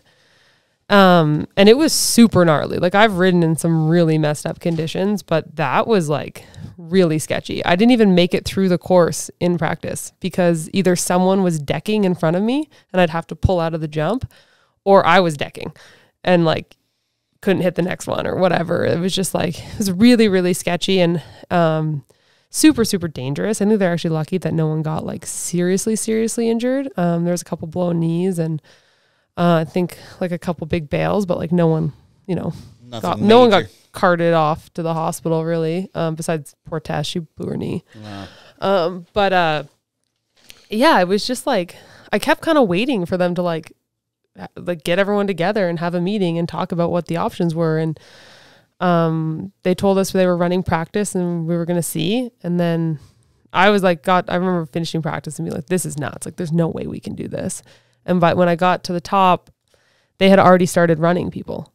And uh, from all my years competing I know like if if they're running people and they're scoring runs like it's over. Like this contest is happening. So I kind of went into a place of like, I'm just going to see this through and hope that it worked, you know, like hope that I win Russian roulette and, you know, maybe I land a run or get no wind. Um, but it was just, yeah, it was honestly like, yeah, probably the worst experience I've ever had in my career was having to watch all those girls fall. And, and yeah, just think about like, how does this make our sport look and how are we being perceived right now? because everyone I just knew that group of girls so well and I knew how hard everyone worked to be there and how hard we had worked to as a group to like get women snowboarding to where it was at that time. And yeah, it really just like felt like we were robbed of that. Um, and then to come out on the other side of that day and find out that like ski racing had been canceled and biathlon had been canceled. I was like, really? Like it's okay for us to jump off like 70 foot jumps and like 100 mile an hour winds, but you're going to cancel biathlon? How come they can cancel those but not the snowboarding? Because I thought it was like advertising commercials lined up and slots and all that, and that had something to do with it. Uh, yeah, I guess. But yet they could cancel those. I don't know if it's just that like those sports have better um like organizing bodies. Is Um, it FIS is responsible for Olympics, right? yeah, They're ones so who make the call. So Yeah. nobody got in there and just demanded this isn't safe. Let's let's call it. yeah, and and basically like when it uh, we were it was awesome to like kind of come out like the next like see all like the media coming out the next day and like see that people weren't just like hosing women snowboarding that you know they were like this is kind of like bullshit and you know who's responsible for this? It, it, it was really not about the riding or the riders which was a big relief for me and i think a lot of the girls um but then FIS came out and just said like well no one forced them to go and it's like yeah but our only option was to pull out of the olympics like what Yeah, everyone works Yeah. so hard, yeah and they tell you to get up there. Your run's going on. It's like Yeah, here's a question I have for you. That's Would they have sent the men? uh i don't think so no Okay. um the boys rode in pretty windy conditions too the day before which was the day we got canceled because we were supposed to ride after them and it's insane because they should have sent us that day. It was so much better. Um but i don't know. I feel like maybe they would have tried to run the men but i don't think the men would have agreed to So, have gone. so again, this this whole debacle comes back to that dog shit organization we call FIS. it's so like it's like eh, I mean, granted, who knows? Maybe they learned from it, and, and I know, and granted, I, from what I hear, there are some people over there that are that are good people that are trying, but at the end of the day, it's it's a skiing federation. Well, yeah, that's what like you know, that's what really gets me is I'm like we're never they're never going to put snowboarding above skiing. We're never going to be their priority. We're always going to be at the bottom. yeah, And like why can't we just have something that runs our sport? Cuz yeah, there are good people who are snowboarders that work within FIS snowboarding, but they don't it's like we're always going to be down here and they're never going to do anything to elevate our sport. So why are we all going along with it? And that's the hardest thing is because this generation now that's that's competing, that's all they know. They never got to have like compete at the events that I did and you know and and see what it could be, like how close TTR was to creating something really special. Um, you know, and um yeah, it just it's it's like heartbreaking because I'm like they don't know any better as riders, so like they don't know what to fight for. Mm-hmm. you know, all I remember is FIS and this being an issue. It's crazy that nothing's happened yet. yeah it's it's it's crazy it's like a and it's a it's hard because i think we as a sport and as like a society we put the olympics on this crazy pedestal so even i think that was the downfall of ttr was they wanted the olympic qualifier and i was like you guys got to get yourself solidified and insulated as like this really badass snowboarding tour and once you have that and you have that foothold then take over the qualifiers mm-hmm. but they tried to do too much too soon i think and it, it didn't work We out We also like you know if you look at other sports, there's the the players have their own federations where there's a union amongst players, you So know, and, and, an and athlete will just create. really like if if and I know Chas Guldemond tried to do this, and we're, we are just kind of yelling into the void because I'm not going to probably do anything about it, but just say I don't know anything but about it. but really. really. like if you were to take if you were to take all the snowboarders, you were to take Mark Mick and Anna Gasser and Jamie and all the names that draw the the crowds, the, the people show up to see the the top five ten marquee pros Mm-hmm. in both men's and women's snowboarding. That's that's who that's who pays the bills. If you were to have some type of union and they were to say, "Hey, we're we're just not going to do fists," well, then your your event falls apart. You know, I mean, obviously it's more complicated than that, but Yeah, I think I mean, yeah, we're missing that component as well. It's like it's all divided into nations and you know, not, then you also on top of it all you have federations and I don't know. It's it it's really really complex and there's not like a straightforward answer to how to fix it, but it's just it's just a bummer. I think I mean I don't know, I'm biased. I I snowboard and but I just like love snowboarding and I would love if there was a way to even just stream snowboard events. Like mm-hmm. seriously, you can't even watch any of these freaking events that are like in the Czech Republic and random ass places. Like they don't even have like str- like a one platform where you can go to like fist.com and mm-hmm. watch contests. Like these people are ancient. They got to go. and the other sports, the other sports seem to have that, right? Yeah, I mean and, and Like we, surfing, we you love we love stuff. like we're we're a media company. We love talking about summer. We'd love to cover the contest. We'd Mm-hmm. love to talk about the contest. Like we'd love to speculate. All right, who's gonna win the tour this year? Like who's gonna who's like WSL and surfing? Like who you know? There's all this media around it, and it's like I'd love to follow the contest scene and and be invested in it, but you can't fucking watch it. You can't. And, and There's it, nowhere to. Even when it's up, it's like some is over here, maybe in Yeah. the UK, some is on this website, and Yeah, you got to be like have like eight VPNs and be like super tech savvy to find like one contest for the snowboard world. it's it's it's a shame that somebody doesn't pull together. But I guess who who does that? Somebody's Yeah. got to be the champion. yeah, I don't I don't think it's Chris, us. you down? I'm into it. Yeah, I'm down to. I mean, I'm down to tell FIS how I feel about him. That's for sure. so going going back to your so the second Olympics is the one where you basically is that when your arthritis started kicking up? Do you want to talk about Uh, yeah, The other way around? Sorry. flip. Yeah, yeah. So 2014, um, before those games was when I was diagnosed with uh, rheumatoid arthritis. Um, and that, yeah, that was kind of crazy because I was riding super, like, those were probably like, I guess, my heydays, if you want to say it. Like, when I was doing really, really well in contests, and I was definitely like, kind of me and Jamie were just like exchanging blows, basically, like swapping every other contest. And, um, uh yeah i was world champion going into those olympics and kind of like the year before during the qualifying year i just started to have like a lot of like random joint injuries um and was just in like a lot of pain in general and i for some reason i was 24 and i chalked it up to being getting old which is like crazy to think about now At 24, Yeah. huh? but uh, Spring chicken. yeah, I know. I was a little baby. Yeah. But um yeah, I just I don't know, maybe that's just how your body feels after doing, you know, after snowboarding Huge for so many years and- and yeah, it just kind of it like slowly got worse and worse. Um and I ended up needing wrist surgery. So we're like, okay, like gonna finish the season. I qualified for the Olympics. Everything was all good and then it's like I'm gonna do this wrist surgery and I'm just gonna train super hard and I'm gonna be like this, you know, like the most in shape and healthy going into the games that I can be. And those like six, seven months were just like disastrous. Like mu- I couldn't put on muscle. I couldn't like. I just kept getting more joint injuries. Like I literally had like bursitis and atrophy in both my shoulders. I had the wrist thing, so I had the surgery for that. I had a Baker cyst in my knee. I had capsulitis in my toes. I got a ganglion cyst in my wrist.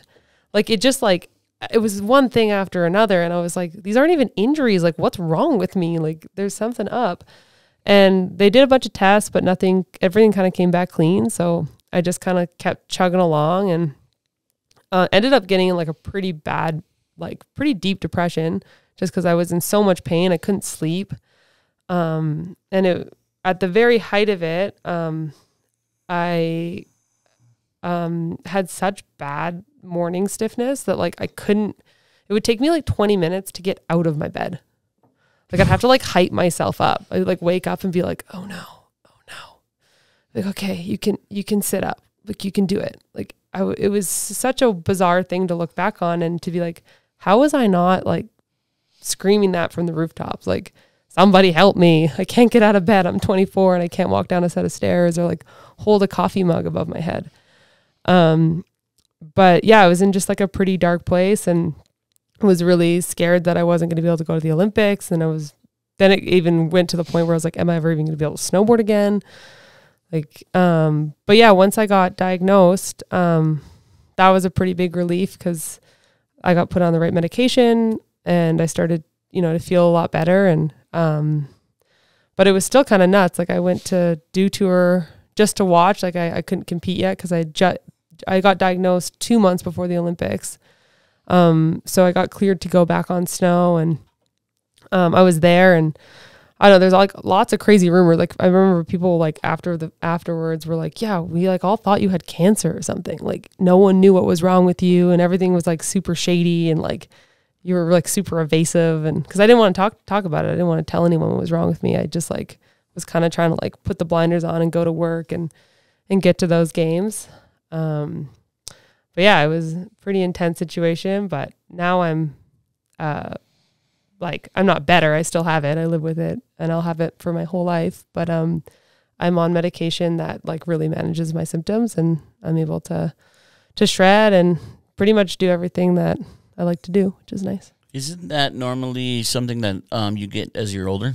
Rheumatoid arthritis? That was like the first thing I said. I was like, "This is an old person disease." Yeah, because you know you will see an old person and it takes them 20 minutes to get out of bed. It's, yeah. so is that just a fallacy? That's not not something that's true, or is your case rare? Um, no, there. That's it's totally true. Like it, it does commonly present in older people, and um, but there's like over 130 different types of arthritis, um, which I didn't know um before I got it. I didn't know that. Um, rheumatoid arthritis is one of the more severe types, um, and it affects your body bilaterally, so like e- each side equally.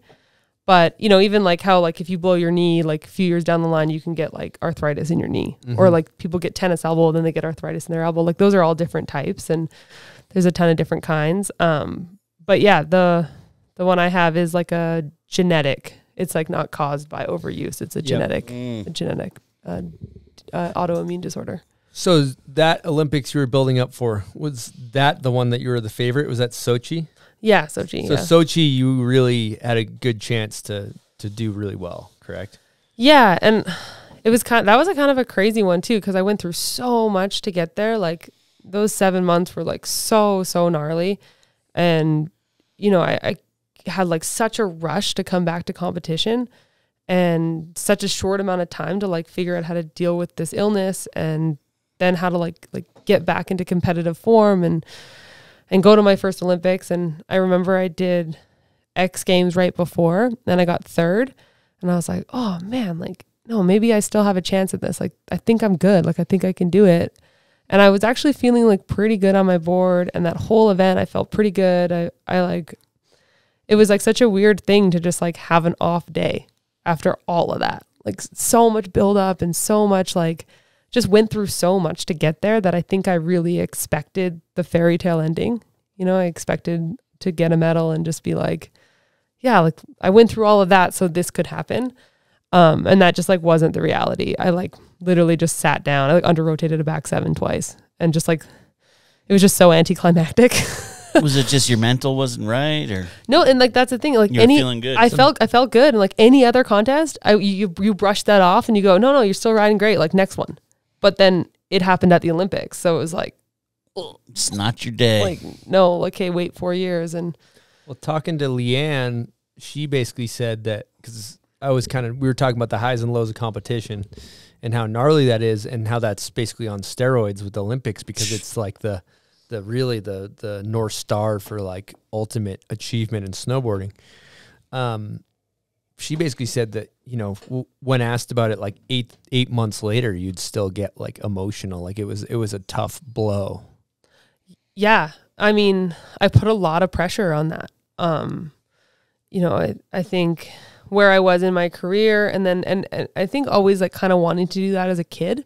Like i wanted to go to the olympics for pipe when i was a little kid you know and i remember watching kelly clark in the olympics and being like that's what i want to do and you know that dream kind of faded for me because I, I just loved slopestyle and that's what I what I where my heart was really at. Um, but when we got that opportunity, it just like it felt really serendipitous and like you know, I, it just felt like things were lining up. So when everything kind of went sideways and it didn't happen, it, it was hard. It, it felt like a loss. Like I, I I took that really hard and it and I think just like coupled with like everything that I went through, it was it was just like a lot all at once.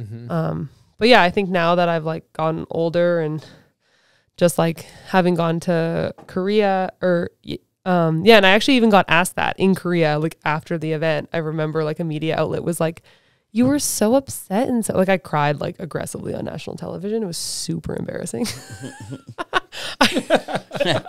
Hey, what are you gonna do? You know, Respect. Ugh, not a good look. Um, but uh, yeah. So like the in Korea, they were like, "Well, you like just seem so not upset this time, and you actually did worse." Jeez. like totally back, so backhanded. But I I remember just being like, "Yeah, well, this isn't my fault. Like, this is a joke." And if and I think I don't know, just going to those games and just like it just really shifted a lot of things for me with what a pedestal I had put the Olympics on, and and that that was kind of backwards because the Olympics isn't snowboarding, and it's it's a really cool thing I think that all athletes get to do, and it's special to represent your country, but that's not why we snowboard, mm. and it's definitely not why I snowboard. So Yeah. I think that was like a nice like shift for me to have of being like I don't you know I'm grateful to have gotten to go and I'm grateful to have experienced it, but it doesn't like define me, and yeah. It's been it's you know the thing that I do think's good in the sense of like some of the, in the way history's been is like luckily a lot of the people that have won the Olympics in the past few years and slope you know you have Jamie and and Zoi and and Sage and Red and stuff like they've gone on to go to like Jimmy Fallon and they just make snowboarding look so cool which has been awesome. That's one of the benefits of it but then again you you throw a contest on a windy day and and all these these poor women are bouncing off the knuckles and you you know that's just it's fucking disrespectful to the sport you know so um Yeah, and I, and I think I mean, I like I called that out in that letter I wrote for like or like I did an article for like the Players Tribune after all that, and it's like that riding in like crappy conditions is like being a theme in snowboarding for a long time. Like we don't have weather days. I mean, even natural selection. Jack, like it was like pretty crappy conditions, and we we still rode. You know, like it's just kind of part of the game when you do a winter sport. Like it's really hard to have optimal conditions all the time, and um, but yeah, I think the the big thing with with the with that Olympics experience was like that the athletes weren't consulted about it. It wasn't our choice to ride in those. We weren't even given that option. no, there was no like sit down. Let's have a powwow. How do you feel about this? Yeah, no, like usually, like Just I mean, report to the top. yeah, it's like happened to like at X before where it's like super sketchy and people can't clear the jumps and they go, well, what do you guys want to do? And usually your option is if you don't go, you're just not going, and there's just like not going to be a contest today. Oh, really? yeah, that's like oftentimes that's the choice, which sucks. That's But with TV everyone time, works so hard. yeah, with TV time and everything though, they, they don't have a lot of options. Usually Yeah. their hands are tied. But at least we're given that choice. And on that day we weren't given a choice. Yeah, it's your choice. At least you can all decide together. And Yeah. Yeah. You can poll the women and if, Yeah. if everyone wants to send it and, and risk it, then great. Like let's go. But I just it really bothered me that we weren't even consulted on our own safety. yeah, We're going to take a quick break and talk to you guys about Autumn Headwear. Now, I'm currently wearing the Autumn Bombhole collaboration beanie. This thing kicks ass because it's designed by their founder, Brad Alband. He's one of the best designers in the industry. And his whole shtick, their whole shtick, is that style and creativity matter. You see that in the fits, you see that in the design, you see that in the team of who they select to be on their team. They got Jill Perkins, they got Sam Taxwood, Danimals, all stylish characters. And their whole shtick is that they want beanies to have specific fits. So if you want to go sky high resi, they got a fit for you. If you want to go Sailor Jim rolled up above the ears, they got a fit for you. So again, beanies are a strong form of expression and style matters. So if you're thinking about picking up a great beanie, head on over to autumnheadwear.com. We got a little promo code for you. Use promo code BOMBHOLE for 20% off and get that dome piece looking right. Again, bombhole 20% off autumnheadwear.com. All right, we have a guest question from none other than Leanne Pelosi. Here we go. Hi, Spencer. It's Leanne here. I have admired your career ever since you were a Grom. Uh, I've been able to watch you flourish as a professional snowboarder onto the onto the Olympics, the X Games, uh, you name it. You are a legend in all of our snowboarders' eyes, and you continue to dominate in the backcountry. I think it would be awesome for you to explain how that transition from the contest scene to the backcountry has been uh, to the listeners. And I just want to give you a shout out. I think you're the best. I I treat you like you're my younger sister, but you are such a boss. And yeah, hope to ride with you this winter. Oh, what a legend.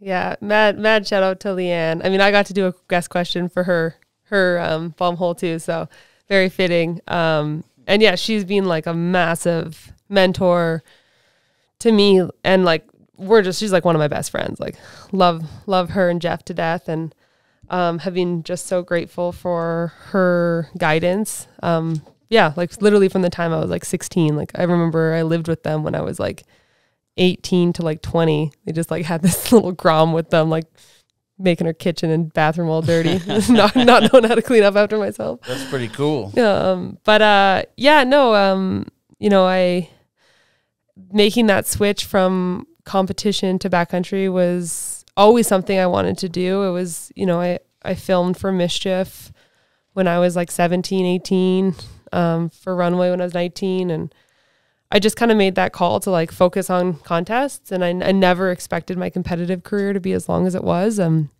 I always thought I would have made that shift earlier, but there just like kept being things that I, I wanted to accomplish, so I kind of kept down that road.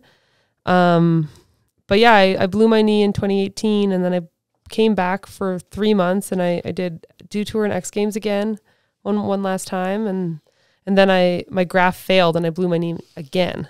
Um, and then yeah, it was just like a really hard couple years with injuries and I, I lost a couple sponsors and um I kind of got the I I just like got to this point with um with snowboarding where like I had been reaching out to a lot of brands for a lot of years like after Nike ended and I was just like not having any luck um finding support um and I got to the point and then I was like injured for a couple years and I was just like was like man like it feels like snowboarding just like doesn't want me anymore. Like I felt like a, like a neglected child or something. It's a horrible feeling. Which yeah, but it's also like uh, uh, it's like on the flip side of that, it's like snowboarding doesn't owe me anything. Like it's given me so much, and I'm so grateful to have been able to live this life for as long as I have. And um, you know, but I definitely had that mentality a little bit of like, like I've been doing so well for so long. Like I deserve this, I deserve that. Like why don't people want me? Like what?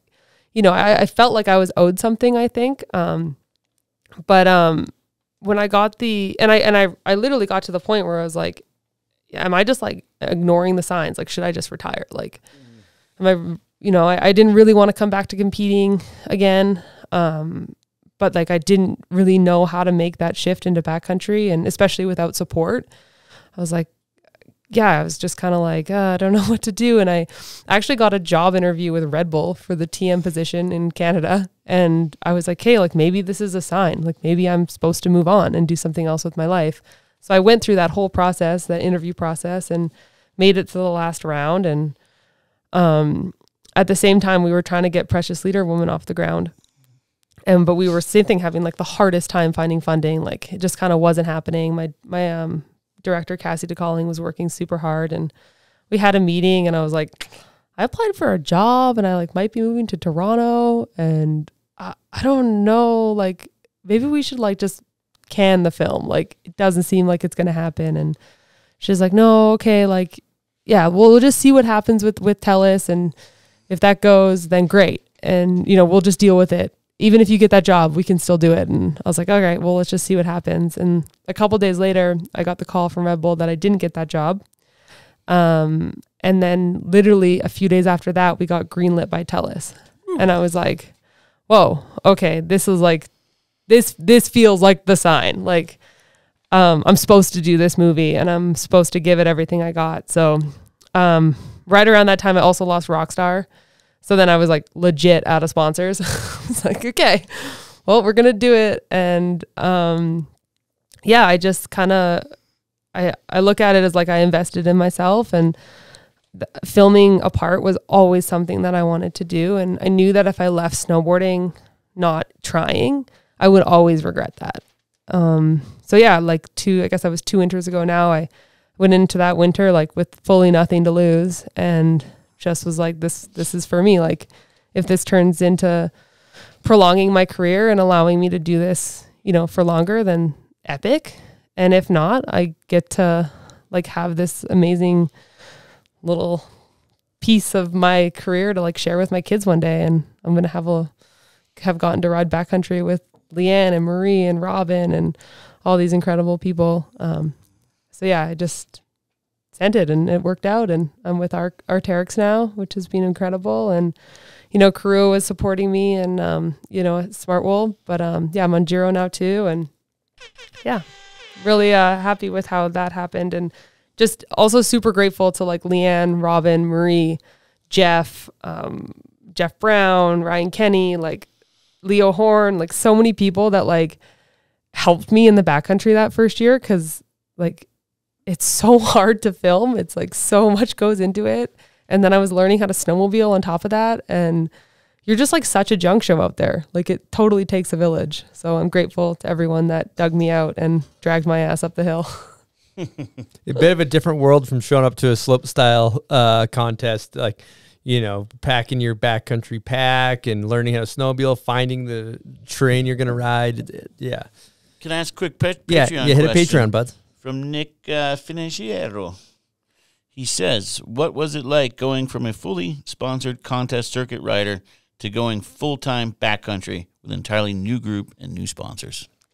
Um, yeah, thanks, Nick. Thanks for your question. Um, yeah, I feel like I kind of answered a little bit of that um, through Leanne's. Um, but it's yeah, it's just been really awesome to be in the backcountry and I don't know, I feel like snowboarding's new again, which is so cool after like doing it for 20 years. You're like a kid, kid again, huh? Like Yeah. fresh eyes on everything. totally like it's I think that's like one of the best things about snowboarding that like you can do something for 20 years and you just change the way you're doing it a little bit and it's brand new again. And yeah, I've just been learning so so much and um I'm just so grateful to have found support to be able to keep on that journey and to keep learning cuz yeah, this year I got to go to Alaska for the first time and like now that's this whole other like can of worms and I'm just like I don't know, it just feels really fun to be a grom again. That's cool. You know, a lot of guests we've had that sat in that chair that have had long careers. That there's almost a theme of the ones that have had great long careers is that they've learned how to reinvent themselves, and in reinventing themselves and like almost refinding their authenticity. It's it's really funny to think where you're like, well, I got no sponsors. I'm just gonna do this thing that's authentic to me, and I'm gonna do what I want to do. And all of a sudden, the sponsors follow that, and I, I love that. It's like it, it, you can't reverse engineer it. Like I need to be sponsored. It's more like when when you're true to yourself, the sponsors seem to come. For what I've noticed. Yeah, no, I would agree with that 100%. And um, yeah, I mean, I think I'm grateful it kind of happened the way it did because it, it made me, it like fully checked, like I made me check myself, you know, and check my freaking privilege and feeling like I deserve this. Um, but uh, it, and it also, yeah, it just gave me a fresh perspective on snowboarding again. And um, yeah, I'm just, I'm grateful for that. I'm grateful to get to do this all the time. Love it. Well, now that we're talking videos and uh, video parts, let's test. Uh, you know what, buds? Oh no. Name that video part.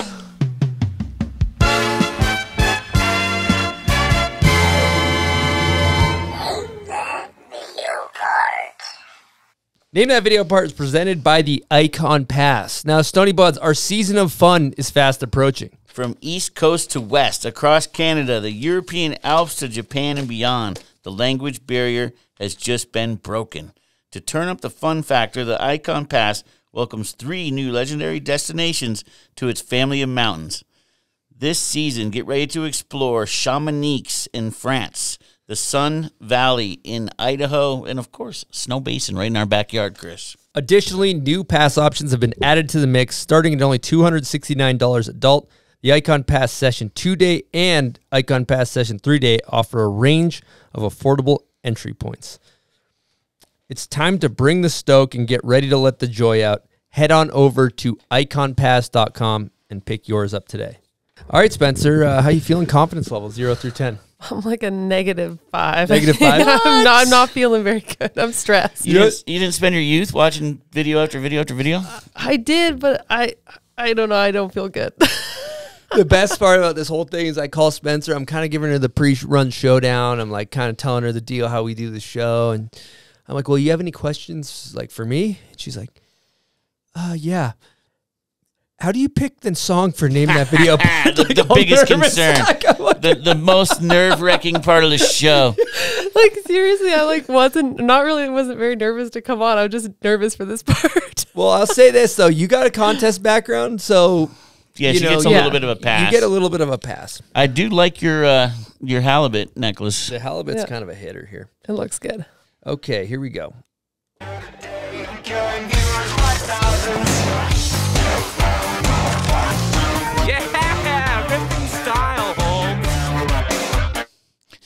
Ripping style, Holmes. What? Yee. I think I ha- I don't think I have any idea. Yeesh. Can I hear it one more time? Sure.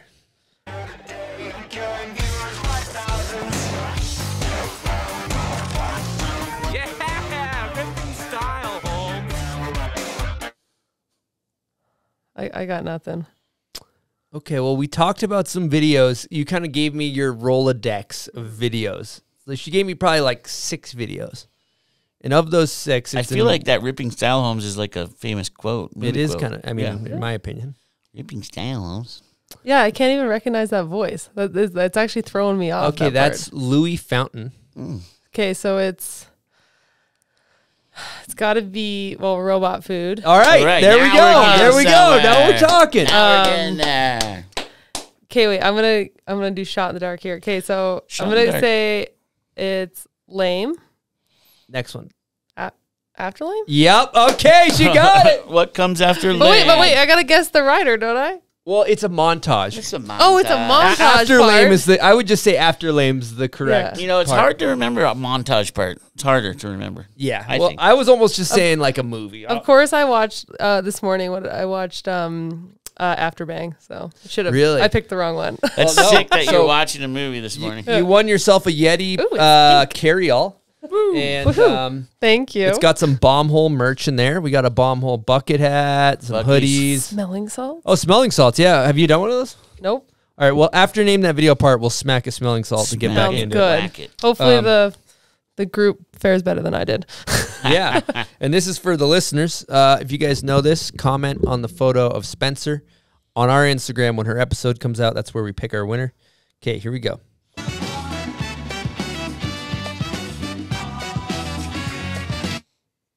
Okay. Thank you guys for playing.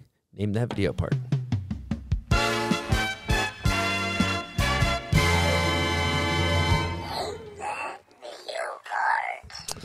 All right. We said we're gonna do uh we're gonna do a bit of a Let's run through a wall. a bomb hole ceremony here. Ceremony. Let's run through a wall. this is uh run through a wall smelling salts. Now what you do, buds, would you like one? I would love one. a Percy. Yeah. And then uh all you do is you squeeze it and then it'll pop and then you just give it a little give it a little whiff. So Maybe a waft. Like I don't have to pop it at my nose, right? No, you can just pop it down there and ease it up.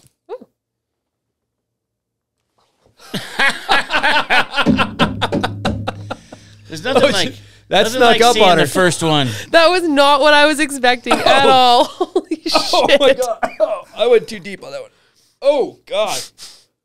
Those I'm ones are potent. I'm going light. Yeah, that's potent. that was different than I thought. Yeah. Whew. Potent batch, eh? Oh my god. Wow, it really does wake you up though. Yeah. All right, we're ready. We're ready to keep going. Oh my gosh. Well, glad I experienced that. It's something to experience. It's different. Yep. I think they they are available most likely right now. I think they're available. at bombhole.com too if you're interested in You can like purchasing. taste it. Yeah. Yep. Yes, you can. Yes, you can. Let's talk PLW. Yeah. Buds and I, we got a sneak peek of the Yeah. film. I don't know by the time this comes out if it'll be out or not. Um.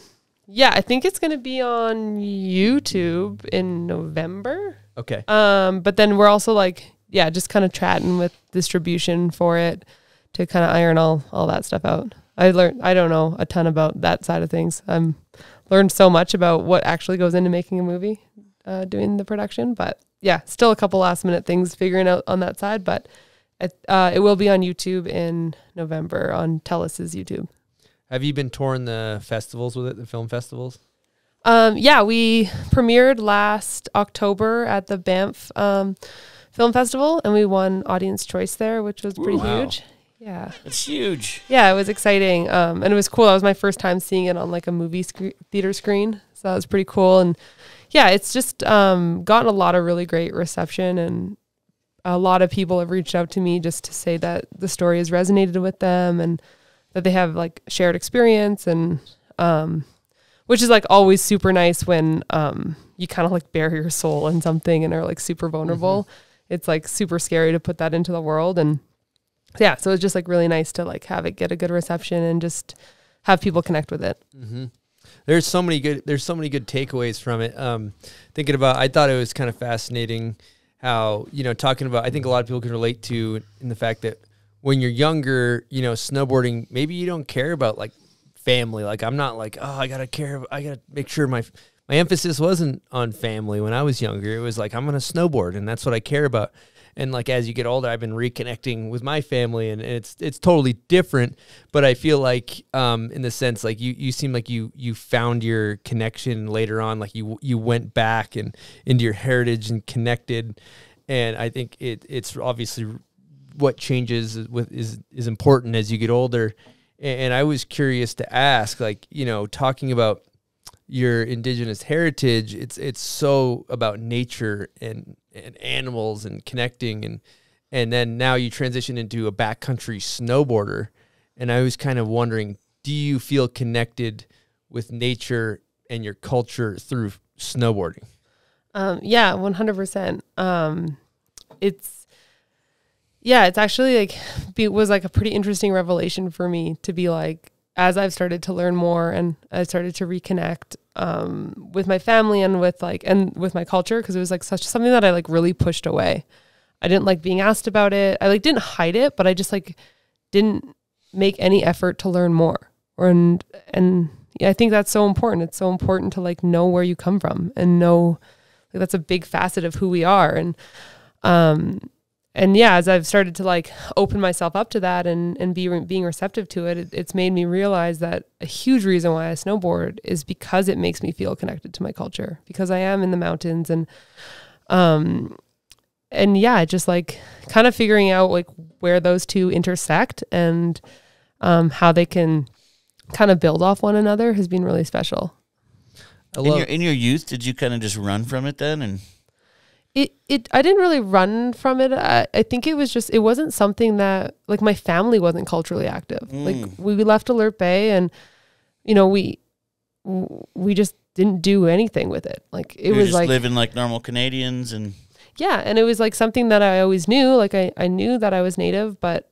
you know e- even I didn't even know that we were part Haida until I was in my twenties, and you know, you know like I, I didn't even go that far deep to be like what like what in what indigenous nation is my grand my great grandmother from you know because she's full haida and it's just like when you look at it like that you're like that's so crazy that i just like i never asked those questions and it never even crossed my mind to ask those questions until i was later and i think my family as a whole really owes a, a lot to my sisters because they've really um taken that role for our family of of of like kind of rediscovering and reconnecting. Um, when Megan left snowboarding, she became a um, a full time weaver, and she does like the most incredible art. Um, she weaves with cedar bark and also with mountain goat's wool, and makes like it's kind of she does like the regalia that you'll you'd wear in ceremony at potlatch. Um, and yeah, like through her art, that was kind of a big catalyst for our family, and then it was a big catalyst for my sister Avis who now works in indigenous communities and you know does using the culture as like um kind of like a catalyst for mental health within indigenous communities. So, um, yeah, I'm just really grateful to, to my sisters and, um, they, they've been really big mentors for me on this journey. I love that. That's so cool. And and I I was thinking about this a bunch. Uh, one of the things I think is really cool about it is you know as as humans, we maybe think that like of the past uh, hundred years or fifty years, like maybe these problems are are new or ailments or whatever's going on in our our body, physical health, mental health, whatever.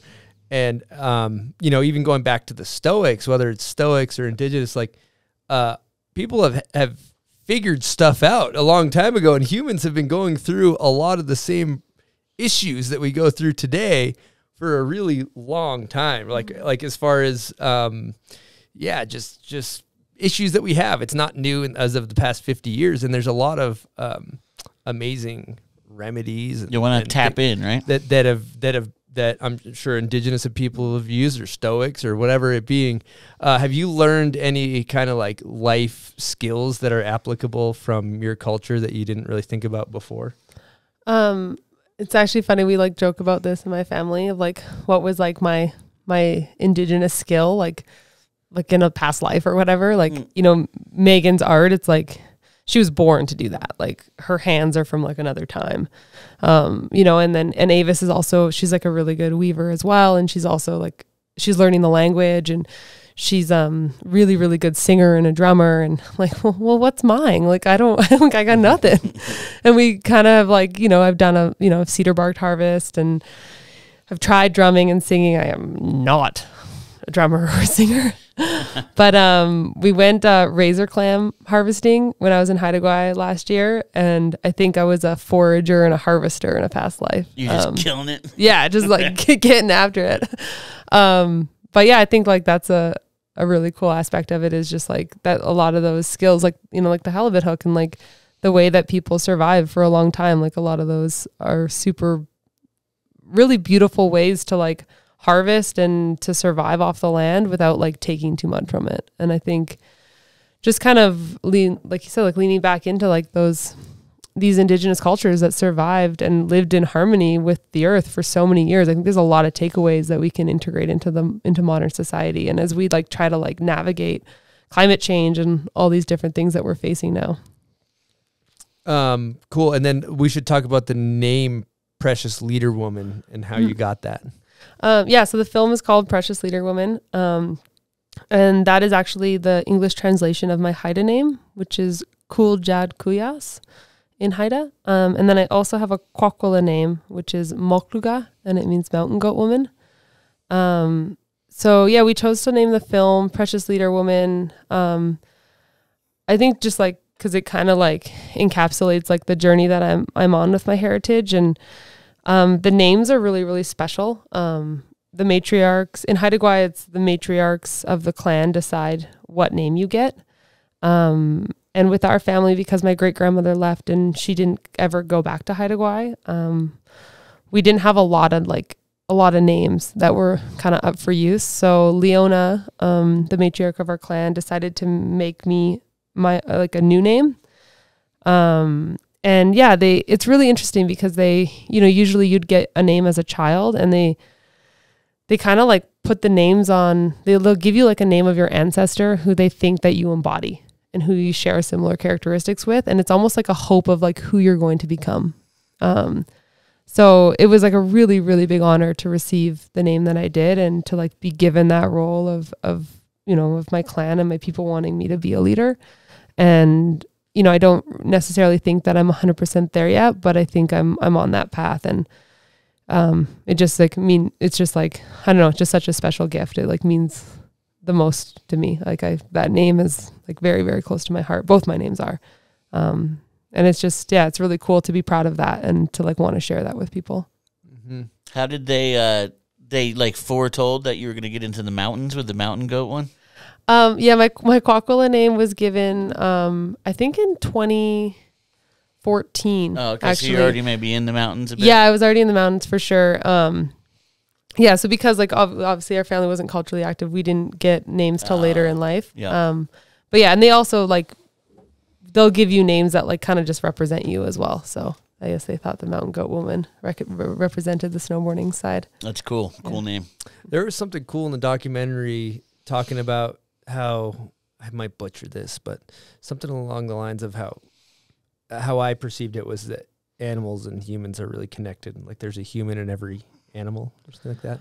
Um, not like there's a, a human in every animal, but um, especially in in like in Haida Gwaii, like they have like the supernaturals, um, and like the raven is one of those supernaturals. Um, all the stories link back. Um, a lot of stories come from the raven. Like the raven is the one that brought the light, um, the light in the dark, and the the story of like the origin of the Haida people is is a raven opening a clamshell, and he created like man and woman and um, but yeah, there's like all all these really beautiful stories in Haida culture um, that link to animals in the natural world, and then each clan also has you kind of have the rights to certain animals. Um, so I'm we're Eagle clan. There's like two main clans in Haida. There's Raven and Eagle, and uh, um, a couple smaller ones as well. But um, we're Eagle. But even though we're Eagle, we actually have the rights like to basically to be able to wear like a raven. Um, so if I want to make a button blanket or a piece of regalia, I could have like a raven on that because our our clan has rights to that.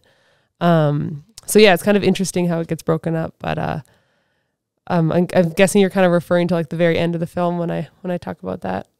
Um, yeah. Anyways, like last winter when I was like kind of like unsure of like everything, not last winter, the winter before, when we were filming Precious Leader Woman, I was like, oh, like I'm doing this, but like I don't know what's gonna happen. Like, was this the right call? All this stuff, and kind of every time I felt like I kind of had a doubt in my mind about the path that I was on, I like would see a raven.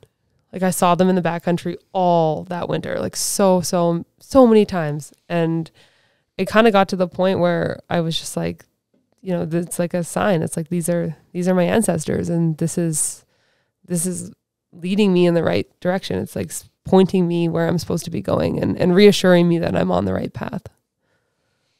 Yeah, seeing that that's powerful. Mm, The spiritual Yeah. connectedness too. Yeah. I think that that that is.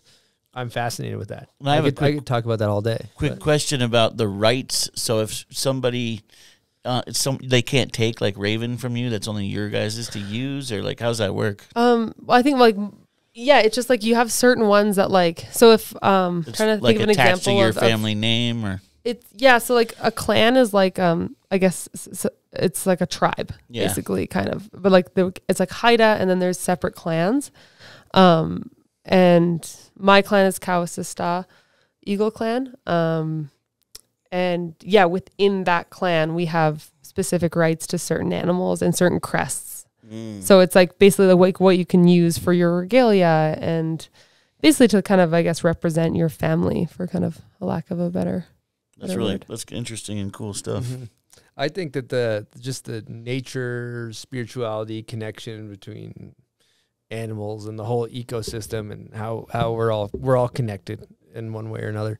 Um, and it seems like that culture is is really tapped in on that.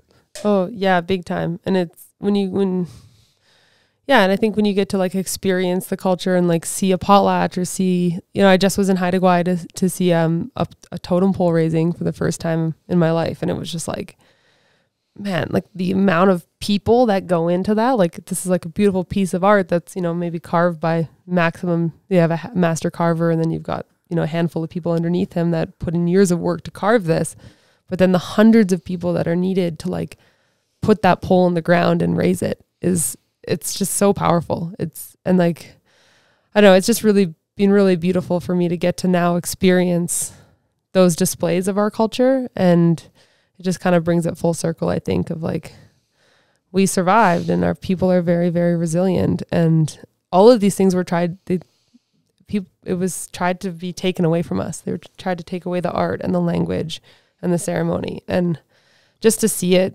um, still being utilized is is just really beautiful. And not only did they try, but they tried. They did everything they could to to do that. So it's ama- it is amazing and very resilient. Yeah, yeah, it's cool. It's um, yeah, it was just really beautiful to witness that and to see the the power of a community coming together to create a moment like that. Was that totem pole raising like one of those big, big ones like you were talking about?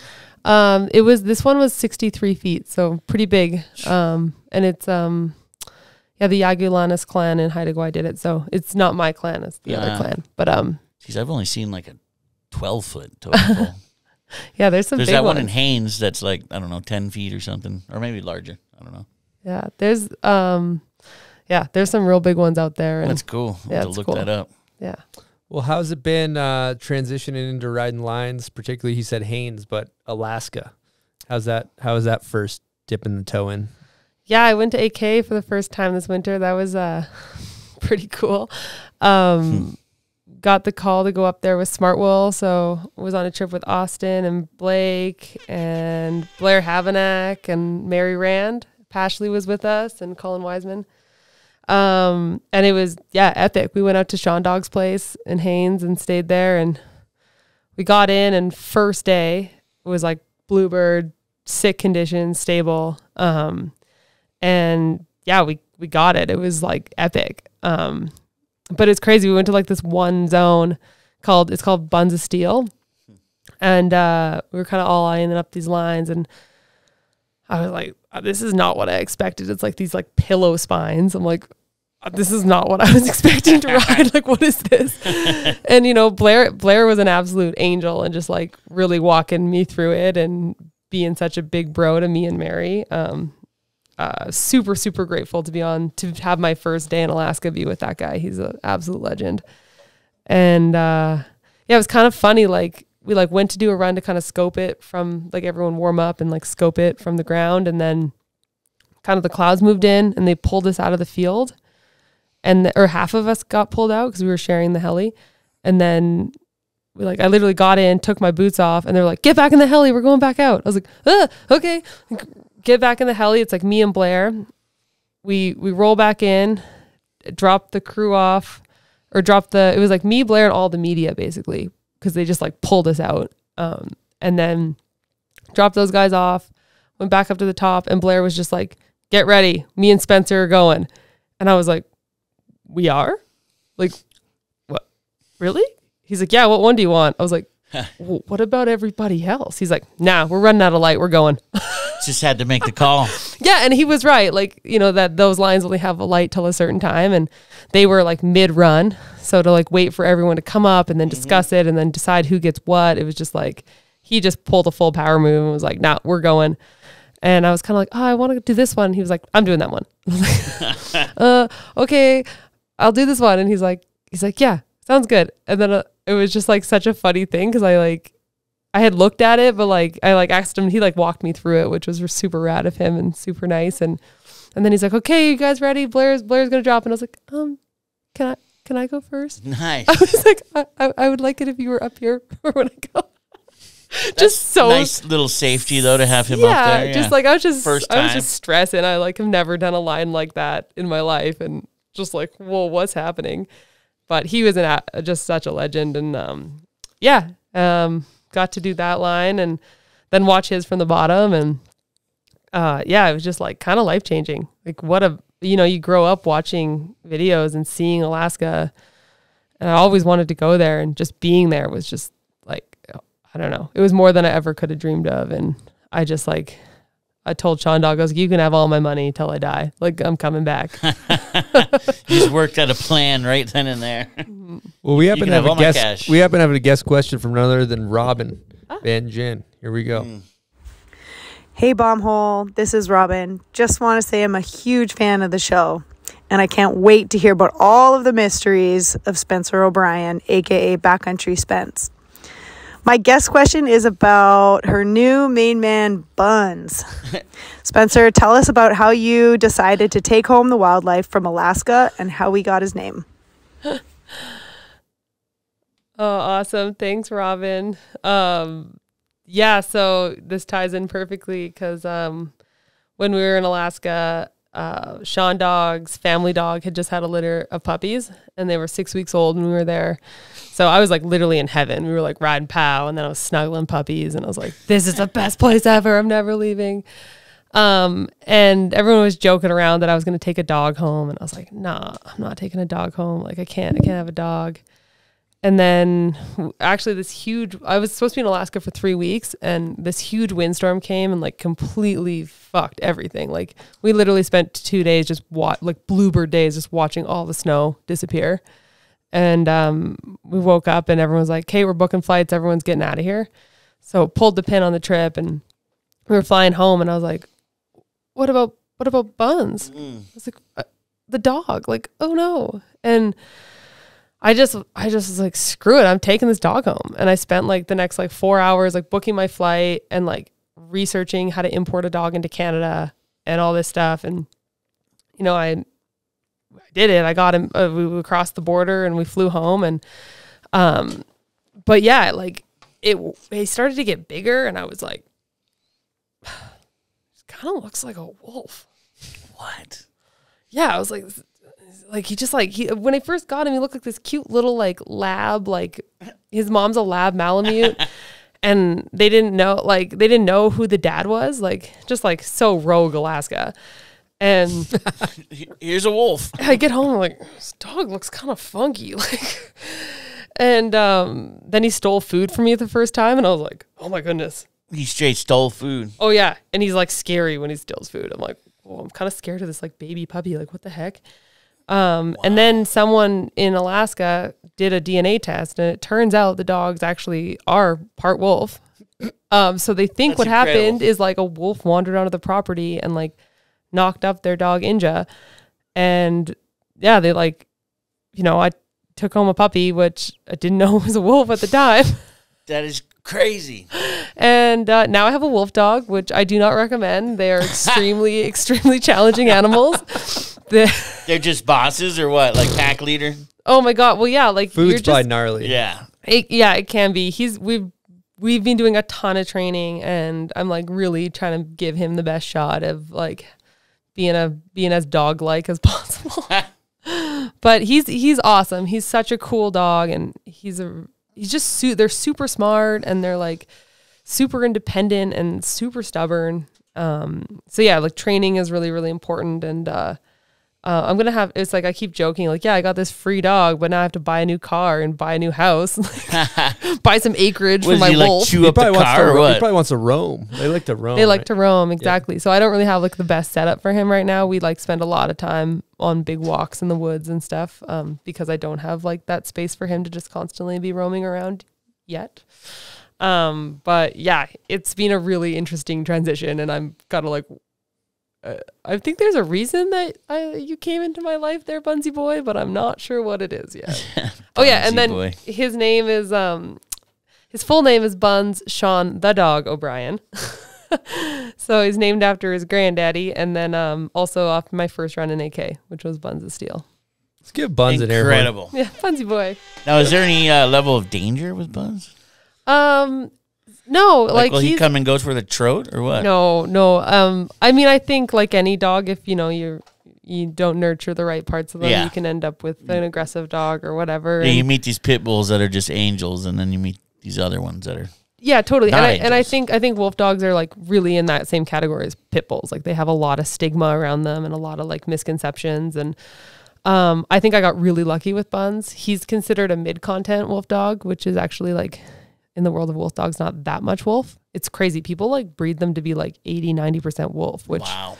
I actually like don't agree with it at all. Like I'm surprised is- it's even legal. yeah, it, it, it isn't in a lot of states. It's actually illegal in Alaska. So they actually had to rehome all the dogs that ended up in homes in Alaska when the person did the DNA test. Um, they, They had had, to find them home. yeah, they got all returned to Sean dogs and they had four weeks to find them homes in legal states. Um, but luckily, none of them got euthanized. So that's great. And they, uh, a, um, a sanctuary in Colorado took them on. That's dope. Yeah. Uh, now going back to new sponsors. So you got on Arc'teryx, you're doing a project with them. Did we talk about that? Oh yeah. Uh, well yeah. This winter, last winter, I, s- I, um yeah I signed with Arc'teryx, which has been freaking awesome. They like made some power moves on the female snowboard side. They signed Elena a couple years ago, and then they just signed me and Robin. Um, so pretty fired up for that crew. Um, uh, yeah, we're trying to we're in chats now to like try to do something together, like with like the whole women's team of of Arc'teryx. So fingers crossed that that kind of comes to fruition, because I think it'd be really great to just do something with with such a powerhouse female team. Um, and then yeah, last winter I started a project with Leo Horn, who was um the DP on Precious Leader Woman, and he's done a ton of really awesome stuff um with Sherpas and a bunch of other people, but yeah, he really wanted to do this like kind of more creative project that's like a lot about turning. Um, and we used a phantom cam a bunch last year, and um, yeah, we're just kind of like getting that going. So we're gonna film again for it this year, um, and it's gonna be called uh, Ether Five, and hopefully, I actually don't know exactly when it's gonna be. It might be out middle of the winter, or it might be out next year. We'll see how I do. see how many shots I You get. got this. Yeah, but I'm I'm excited. It's um especially after Precious Leader Woman, I was like, I don't want to talk this year.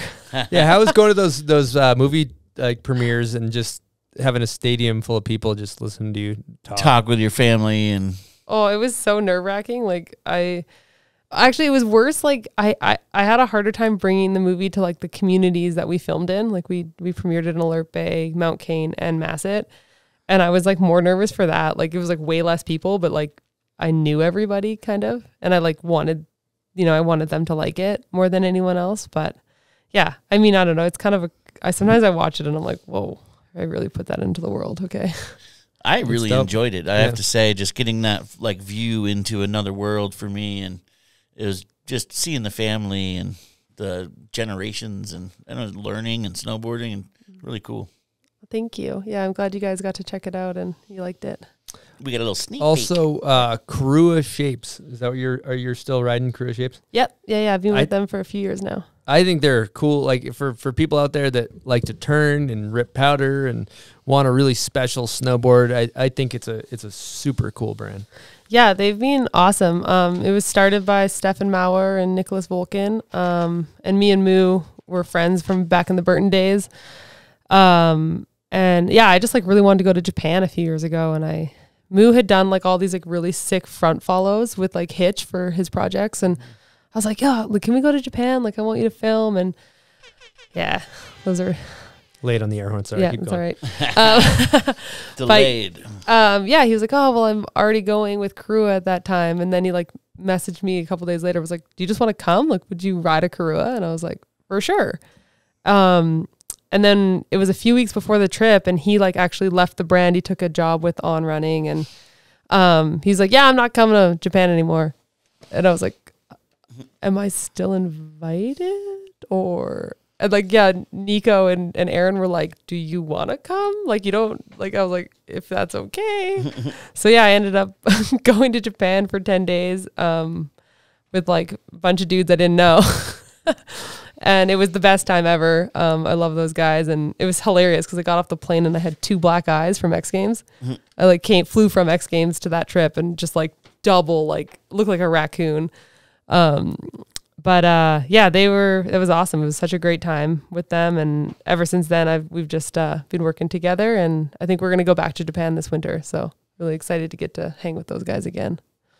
Is that the trip that you filmed? Uh, Sun Sonokuru. yeah Yeah, a Patreon member, uh, CC Nelson, asked about that, but you basically covered his question. oh thanks And Susie. Explain for the listeners that don't know what the boards are all about. Um, yeah, so Korua um, is all about kind of like the quiver, I would say. Um, and it's about having like, and they're really dedicated to the turn. It's like a lot of their boards are built for turning um, and not like so freestyle focused. Um, and it's been really cool for me because I'm like actually so particular about what I ride. Um, I still like, I just like, I, rode the same board forever and for park, like just like really set in my ways and didn't like to change things up. So starting to ride POW and backcountry and like experimenting with different shapes has been really fun. Um, so yeah, I have like uh, you know probably three boards from them that I kind of filter through depending when I'm riding. Um, I really love the Auto, which is kind of like they're more all around, like it's like their freestyle board, but that's what I jump on in the backcountry. Um, the Transition Finder I ride lines on a lot. It's a bit wider, big shovel nose. And then they have this really sick board called the Dart, which is like a swallowtail shovel nose, which is like just the Japan board, pretty much. The dart, I like The that dart. Yeah. In Canada, it would be called the dirt. The, The dirt. dirt. Let's go smoke a dirt. Just smoke a dirt. Buds, I think it's time for the pub beer crap shoot. My favorite time, brother. Are you cracking can? I'm cracking can, and I got in my hand here a pub beer. It is cheap, fun, and delicious. That's their motto, cheap fun beer. Always going in for a sip. uh, if you're thinking about making a a long mustache. I get to save some for later. You know Yeah. what I mean? yeah, if you want to make a 12 pack into a zero pack, uh, get yourself a pub beer, obviously responsibly. Um, all right, so now, you, oh, let's hit the theme, theme music. I forgot Oh, the yeah. theme music. Welcome to the Pub Nice. Beer Crap Shoot.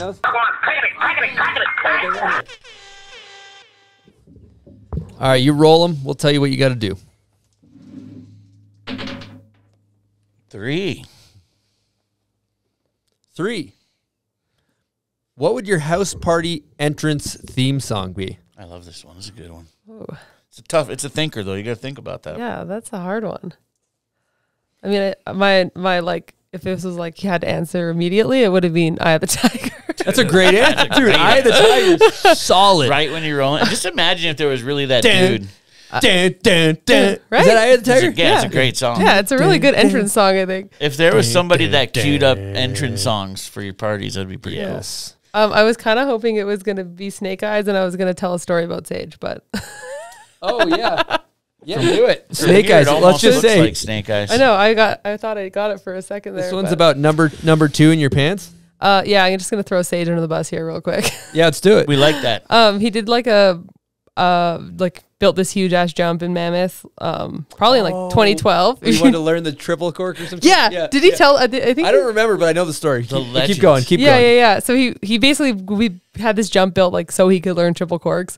Um, but he invented invited all his buddies like Max Warbington was there, Sam Taxwood, uh, Griffin, um, and then Sage is just a legend. And there was like a few girl shoots that were happening that he was like, "Oh, are you going to those?" And I was like, "Oh, I didn't get invited." And he was like, "Oh, like that sucks."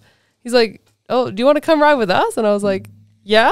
So we, I got to go ride with them, and it was such a good time. And on the last day, he was like, "Oh, I guess I'm gonna try the triple," but and he tried it, and he got, you know, he kind of like bum dropped pretty hard, like got it around, but like didn't quite get his board under his feet, and it like looked pretty painful. But he's like, "No, no, I'm good. I'm gonna try it again. It was close. It was close." And he tried it two more times, didn't get it, but kind of the same fall, like right to his ass. And then everyone's like, you know, like whatever, good try, man. Like that was sick. And he he comes up and we're like kind of getting all ready to go. And he's like, oh, guys, I got like something to tell you. He's like, I kind of shit my pants. and we were like, what? He, we are like on on that last one, and he was like, no, the first one.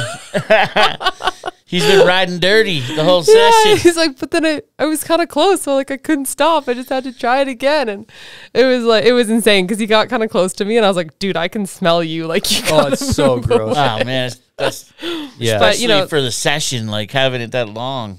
Dude, yeah. Well, at least it was only like three hits. It was like he tried. I think he tried three or four times max. So it wasn't like a super long time. yeah. But Hour I was session. like, the dedication to the triple sage is Mm-hmm. really. That's commitment. Yeah. hopefully you don't hour hate me now, buddy. One of the other questions on there, number 10, is uh, perfect 10. What's the biggest prize check you've won? Uh, biggest prize check is I think it was 40k at the Open. Respectable. Yeah. Very respectable. Those are some cheddar right biscuits. Yeah. Yeah. 40K. Yeah, that was like a full by default too. That was crazy. By I default. Well, I, I won semifinals, or I won semifinals. I qualified first for finals, and then they um we ended up canceling the event because of because of wind, Oh. and uh, like it was like a blizzard, and um yeah, so I just won forty grand kind of by default. Wow. Did you That practice sweet. the 10% rule? I I did actually. It wasn't quite ten percent though, but I took like fifteen people out to like uh to Matsuhisa in uh, Vail and dropped in on a big old fancy sushi dinner for everybody. That's nice. Yeah. Respect. Now, I got one note from, I didn't get a guest question from MFR, but she just said something. She, she said, I want her to know that she's a boss. And then she said something about Fairy Creek. What does Fairy Creek mean? Oh, um, so Um, Fairy Creek is um, kind of a watershed in um, Pacheedaht territory on Vancouver Island near Victoria, and it's a lot of like there's a lot of old growth trees there, and so um, the Fairy Creek movement is actually the largest act of Canadian civil disobedience in history. There's been like 1,600 arrests or something crazy Wow. um, from people trying to protect old growth forest. Um, and basically, the for they were there for almost a year, and then like an injunction happened, wh- which allowed the police to actually use force to remove them. Like your right to protest is gone. Like you gotta go. And Marie had been bugging me to go out there with her like all last summer, and I finally um, agreed to go. I was like, dude, I gotta like stop just like posting about shit on social media. Like, gotta put my money where my mouth is. Like, yeah, let's go. I'll go to the freaking forest with you. Let's do it. And I had no idea what we were getting into. And we like raided headquarters at like two in the morning, like in like a big ball of people and like cop like the next day they like maced people that did that. So we were like really lucky we didn't get maced. and whatever, we made it in and we were like it's just crazy. It's just like was like a full cou- couple days of like police confrontation with like all these like forest defenders. And it was just like so heartbreaking to see like the way that you know the police force was treating people that were just like trying to protect something that they care about um and who all like weren't fighting back like weren't doing anything to me they weren't doing anything wrong. Um it's just like crazy for like industry to have like a private police force basically. But um yeah there was one point in that trip where um we sat down and like linked arms with like 20 other people to like try to protect the kitchen because they were like destroying everything um uh and because they'd been there for a year so they were like pretty set up. And we sat in this group and the cops were like four people at a time just like ripping people away and putting them in a paddy wagon. And um it was like two people away from me. And i was like marie um are, are you coming with me like please don't leave me she's like no if you go i go we're going together Wow. but yeah luckily uh we got real close to getting arrested but we didn't and uh not for lack of trying we tried pretty And they would have really like it would have been real, the real arrest. well, I think your first time with something like if you resist arrest, Ah. like if you like fought back, then, Then yeah, you're deeper. screwed. Yeah, you're in a lot of trouble. But if they just like take you, it's just civil. It's a civil disobedience charge, which isn't really that bad. So yeah, Respect. that's probably what she's talking Respect. well, let's get into hot takes. Hot takes is a classic Staple. on the show here. It's a staple. Uh, we like to start off with the Michael Jordan or goat of snowboarding, both male and female. Who you got? Um, this is a hard one because I feel like there's like there's. I mean, it's so personal, right? And there's so many different aspects of snowboarding. It's. I've been thinking about it a lot. Um, but I, I think I'm gonna go with Victoria for women.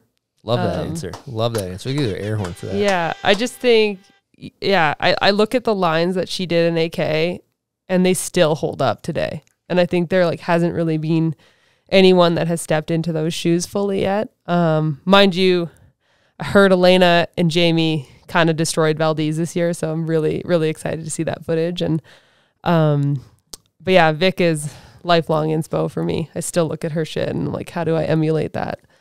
Um, and then for guys, like ah, I, I struggle with this one. I don't know. Um, I think I think T Rice is a big one. I mean, I think out of people who have had a more like kind of hit every genre of snowboarding and had the impact he's had, um, I guess I'm gonna have to go with him. Good answer. we don't catch him out in the streets much, though, do we?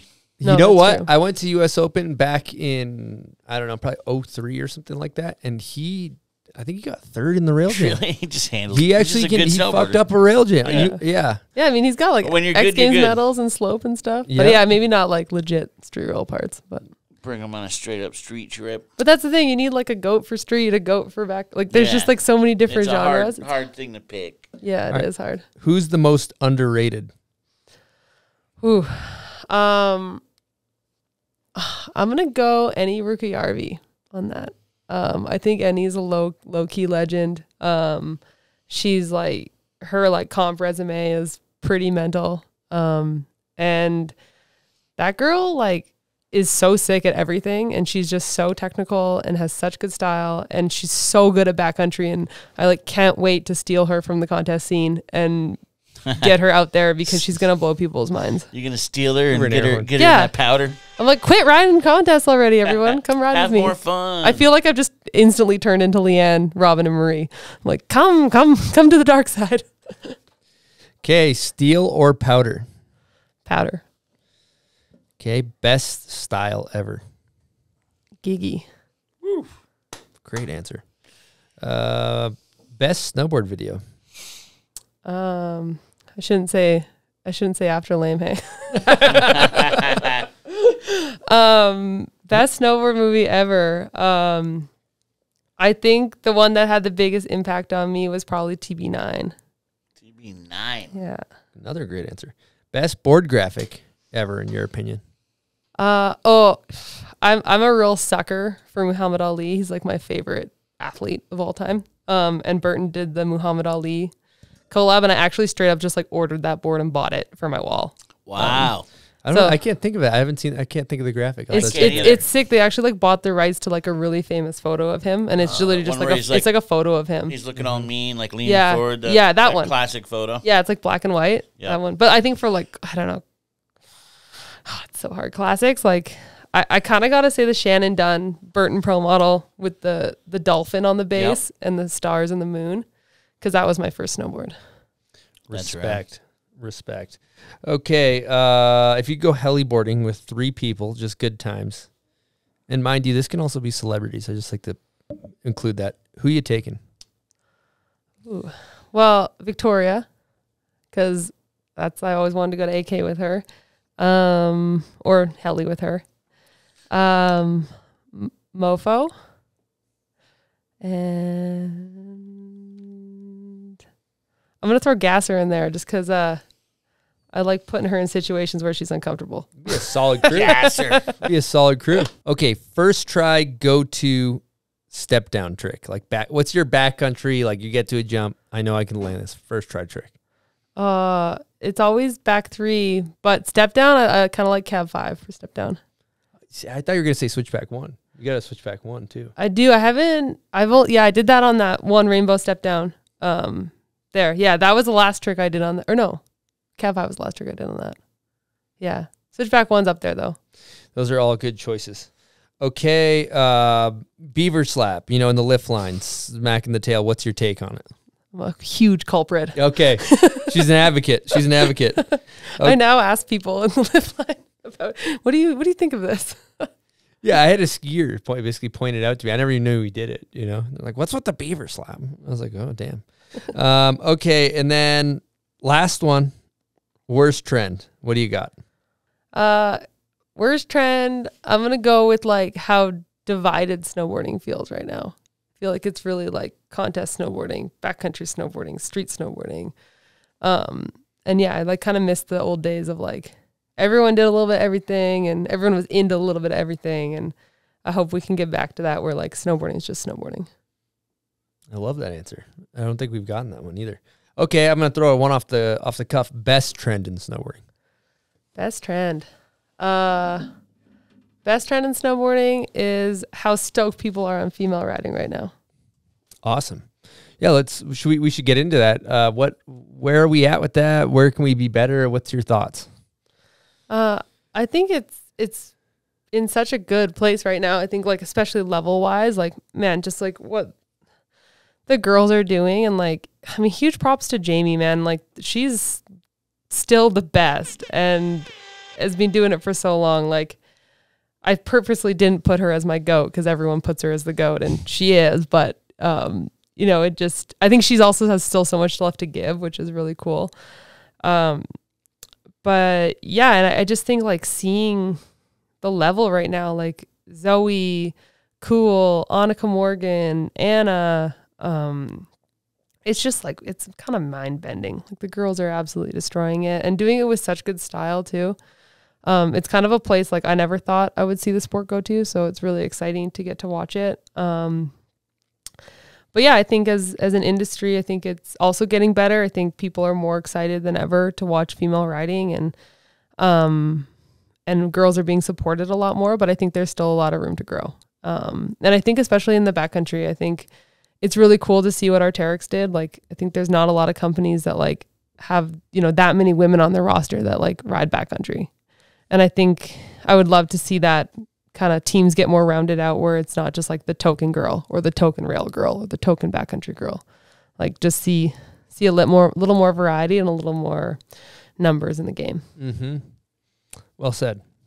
Well said. It's come a long way, but it's got a long way to go. But it's headed in the right direction. I think. Yeah, totally. Yeah, it's been really fun to watch the the progression over the past few years. It's just it feels like it just hit like somebody just poured gasoline on the fire and and Zoi and Tess Coady and it's just it's been unbelievable. And then Chloe in the pipe and the style is so good. It's it's been so fun to watch. So Yeah, it's it's I yeah, I watch it now. I'm just like dude, how was I ever even how did I have any skin in this game?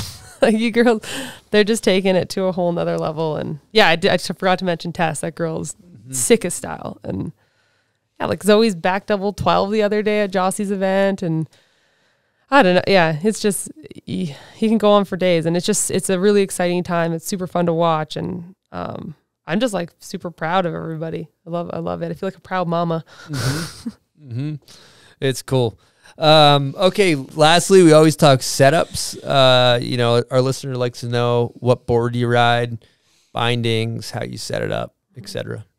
Uh, yeah, so I'm running the uh, Korua Shapes Auto one, kind of alternate between the 52 and the 57, um, or sorry, 53 or 57, depends what I'm kind of going for. Um, but uh, I usually typically always rock that with like a 19 and a half inch stance, um, positive 12 on the front, negative three in the back for like jumping.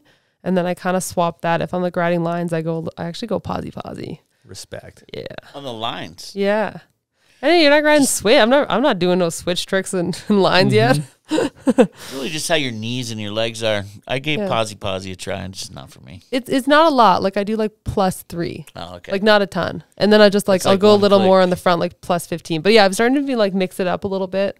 I had literally had the exact same stands and the exact same setup forever. Um. So now that I have yeah, why like not mix it up? yeah. Well, I'm just like I just not. I I don't know. I like. I think my stance has gotten a little narrower since I started riding more more backcountry, and yeah, just kind of playing around with it um, for lines to see what what works best. Yeah. But I'm running um, union bindings um, on on the on that, and then also the Vans Viaje is my go to boot. And do you uh, detune your edges at all? Not anymore. I do for parks still. Mhm. Yeah. I was wondering with the contest scene, it's so important to wax your board to get over the jumps. Like they have wax techs. Are you still on on wax like maniac mode, or is that is that uh, Wax you- maniac. yeah, I you like know? that. um, I severely, severely miss Ryan McDermott. Um, oh, let's give him a big Yeah. air freaking love that man to death. What an angel. Uh, but yeah, he He's a great guy. he's just I mean, I can't even imagine having done my competitive career without him at the top of every contest. Love that guy. Um, and just a magician with a snowboard. Mm-hmm. Um, but yeah, I d- no longer send all my boards to him to get them prepped for the year. It's definitely less of a thing, but I, I still wax my boards. And I like, I, I actually really miss having that, like just having him prep them for the year because then they just like take wax way better and they just like, they just look so healthy and nice when they're taken care of. They don't dry out. Yeah, exactly. Um, I find if you don't like base grind them and prep and like hot box them and prep them at the beginning of the year, they just dry out. Yeah, talk about that because I probably a lot of our listeners don't even know what that Yeah. is. Um, yeah, well, there's this whole science to waxing snowboards, which I I don't know how to do it because Ryan always did it for me. but um, yeah, he kind of like what most people, pretty much every national team rider, like big contest rider, does is they ship their boards to Colorado to Ryan. They'll, he'll get like whatever four to eight, however many you get for the year, depends on the person, I guess. But um, I usually get three or four shipped out to him, and he preps them for like different times of year um, and different like types of snow. And they basically base grind them to get them nice and leveled, and they put them in like this like hot hot box. Um, they like wax them and then like allows the wax to like really penetrate, and they like leave them in there for like twelve hours. Um, and then basically you just have like this like wealth of wax like built up into your board and then and then he'll like grind them and put structure in them based on like what time of year so you'll have like a different structure in your board for spring because the snow grain grain is different i don't know it's like all this crazy science it's like You pretty sound like nerdy You picked up a lot out there, huh? yeah i don't know how to do any of it to my snowboard but i can talk about it I got one more question. What kind of transceiver are you using out there? Uh, I am using uh, the Barryvox. Oh no, is that the right one? Ortovox? No, No. no, I Barry use the- Vox is one. It's the, the the Mammut one. Mammut. Yeah, that one. Yeah. It's fancy. Yep. I, I- I Yeah, I just, just I, wonder wonder what the, the dope transceiver is because I'm sure that our people would like to know. You know, yeah, the Mammut one is like I just like went straight to the girls and was like, well, because I actually had a Pieps for when we went to Japan. I bought a new new transceiver because my other one was like a Tracker one from like 2008. I was like, mm, maybe time for a new one. So I went and got a new. I got a Pieps, but then they had the big recall on them. So then I just said screw it and was like, what's the one? And everyone said said the the Mammut. So I went and got that. what's funny do is multiple Pieps, burials with Pieps that. was on Yeah. its way to making it where people would just call transceivers Pieps, and then they uh, they lost it. Yeah, they they kind of blew that one. I They think. blew it. Yeah. Now, if you could go back in time, er, actually, maybe not back in time, but just advice for um, someone that's maybe a younger you, but just somebody that's trying to come up in, in snowboarding. Um, do you have any advice for an aspiring snowboarder? I I think I mean it's super cliche to say, but like, um, I mean like have fun and like remember why you do it. There was like a point in time for me um, when I first started getting paid and having to do like stuff for sponsors and and it kind of like felt like all of a sudden I had to like kind of snowboard on command a little bit, and that for me was like super hard. Um, because I, I just got stressed out by the pressure of it and I, I, I kind of forgot why I snowboarded. Like I, I lost the fun and I lost the passion for it. And um, for me, that's like always been my anchor in the sport is like going back to why I do it and why I love to snowboard. And as long as I have that inside, like everything else revolves around it. Um, so it's like super easy and cliche to say, but like it is super important. Like you have to hold on to like that pure, whatever that little pure reason is that you love the sport and why you wanted to do it for a living or, you know, you wanted to compete or do whatever, all these other things of why you want to do it. Like you have to hold on to that little piece. Yeah, like kind of don't lose sight of why you fell in love with it in the first place, kind of thing. Yeah. Yeah, love totally. Because all, all that other stuff, like, you know, especially if, you know, if you're someone who wants to become a pro snowboarder and get sponsored, like all that stuff, it can like muddle it, you know, and, and there's a lot of out, you're getting pulled in a lot of different ways. And, um, yeah, I, I kind of lost sight of it for a bit and, um, kind of coming back to that, I was like, okay, I got to hold on to that little piece and keep that as the, the center. All right. Lastly, we just want to see if you want to throw out any thank yous. Um, yeah, I mean, uh, well, thank you guys for having me on. This has been such a pleasure. Um, super big fan of the show and happy to have finally gotten out here and gotten to spend some time with you guys. Um, and I mean, frick, you can't thank everyone, but yeah, I gotta throw a shout out to the girls, to Marie, Robin, and Leanne. Thank you guys taking me under your wing and teaching teaching me how to be backcountry Spence. Love it. Well, we want want to say thank you so much for coming on the show. It's been a pleasure chatting. It's been a blast, and thank you to all the listeners, everybody that tunes in, everybody that supports us and buys merch, and freaking all our sponsors and all our Patreon members. You guys kick ass, and we got another episode coming at you next Wednesday. Thanks, guys. Over and out from the bomb hole.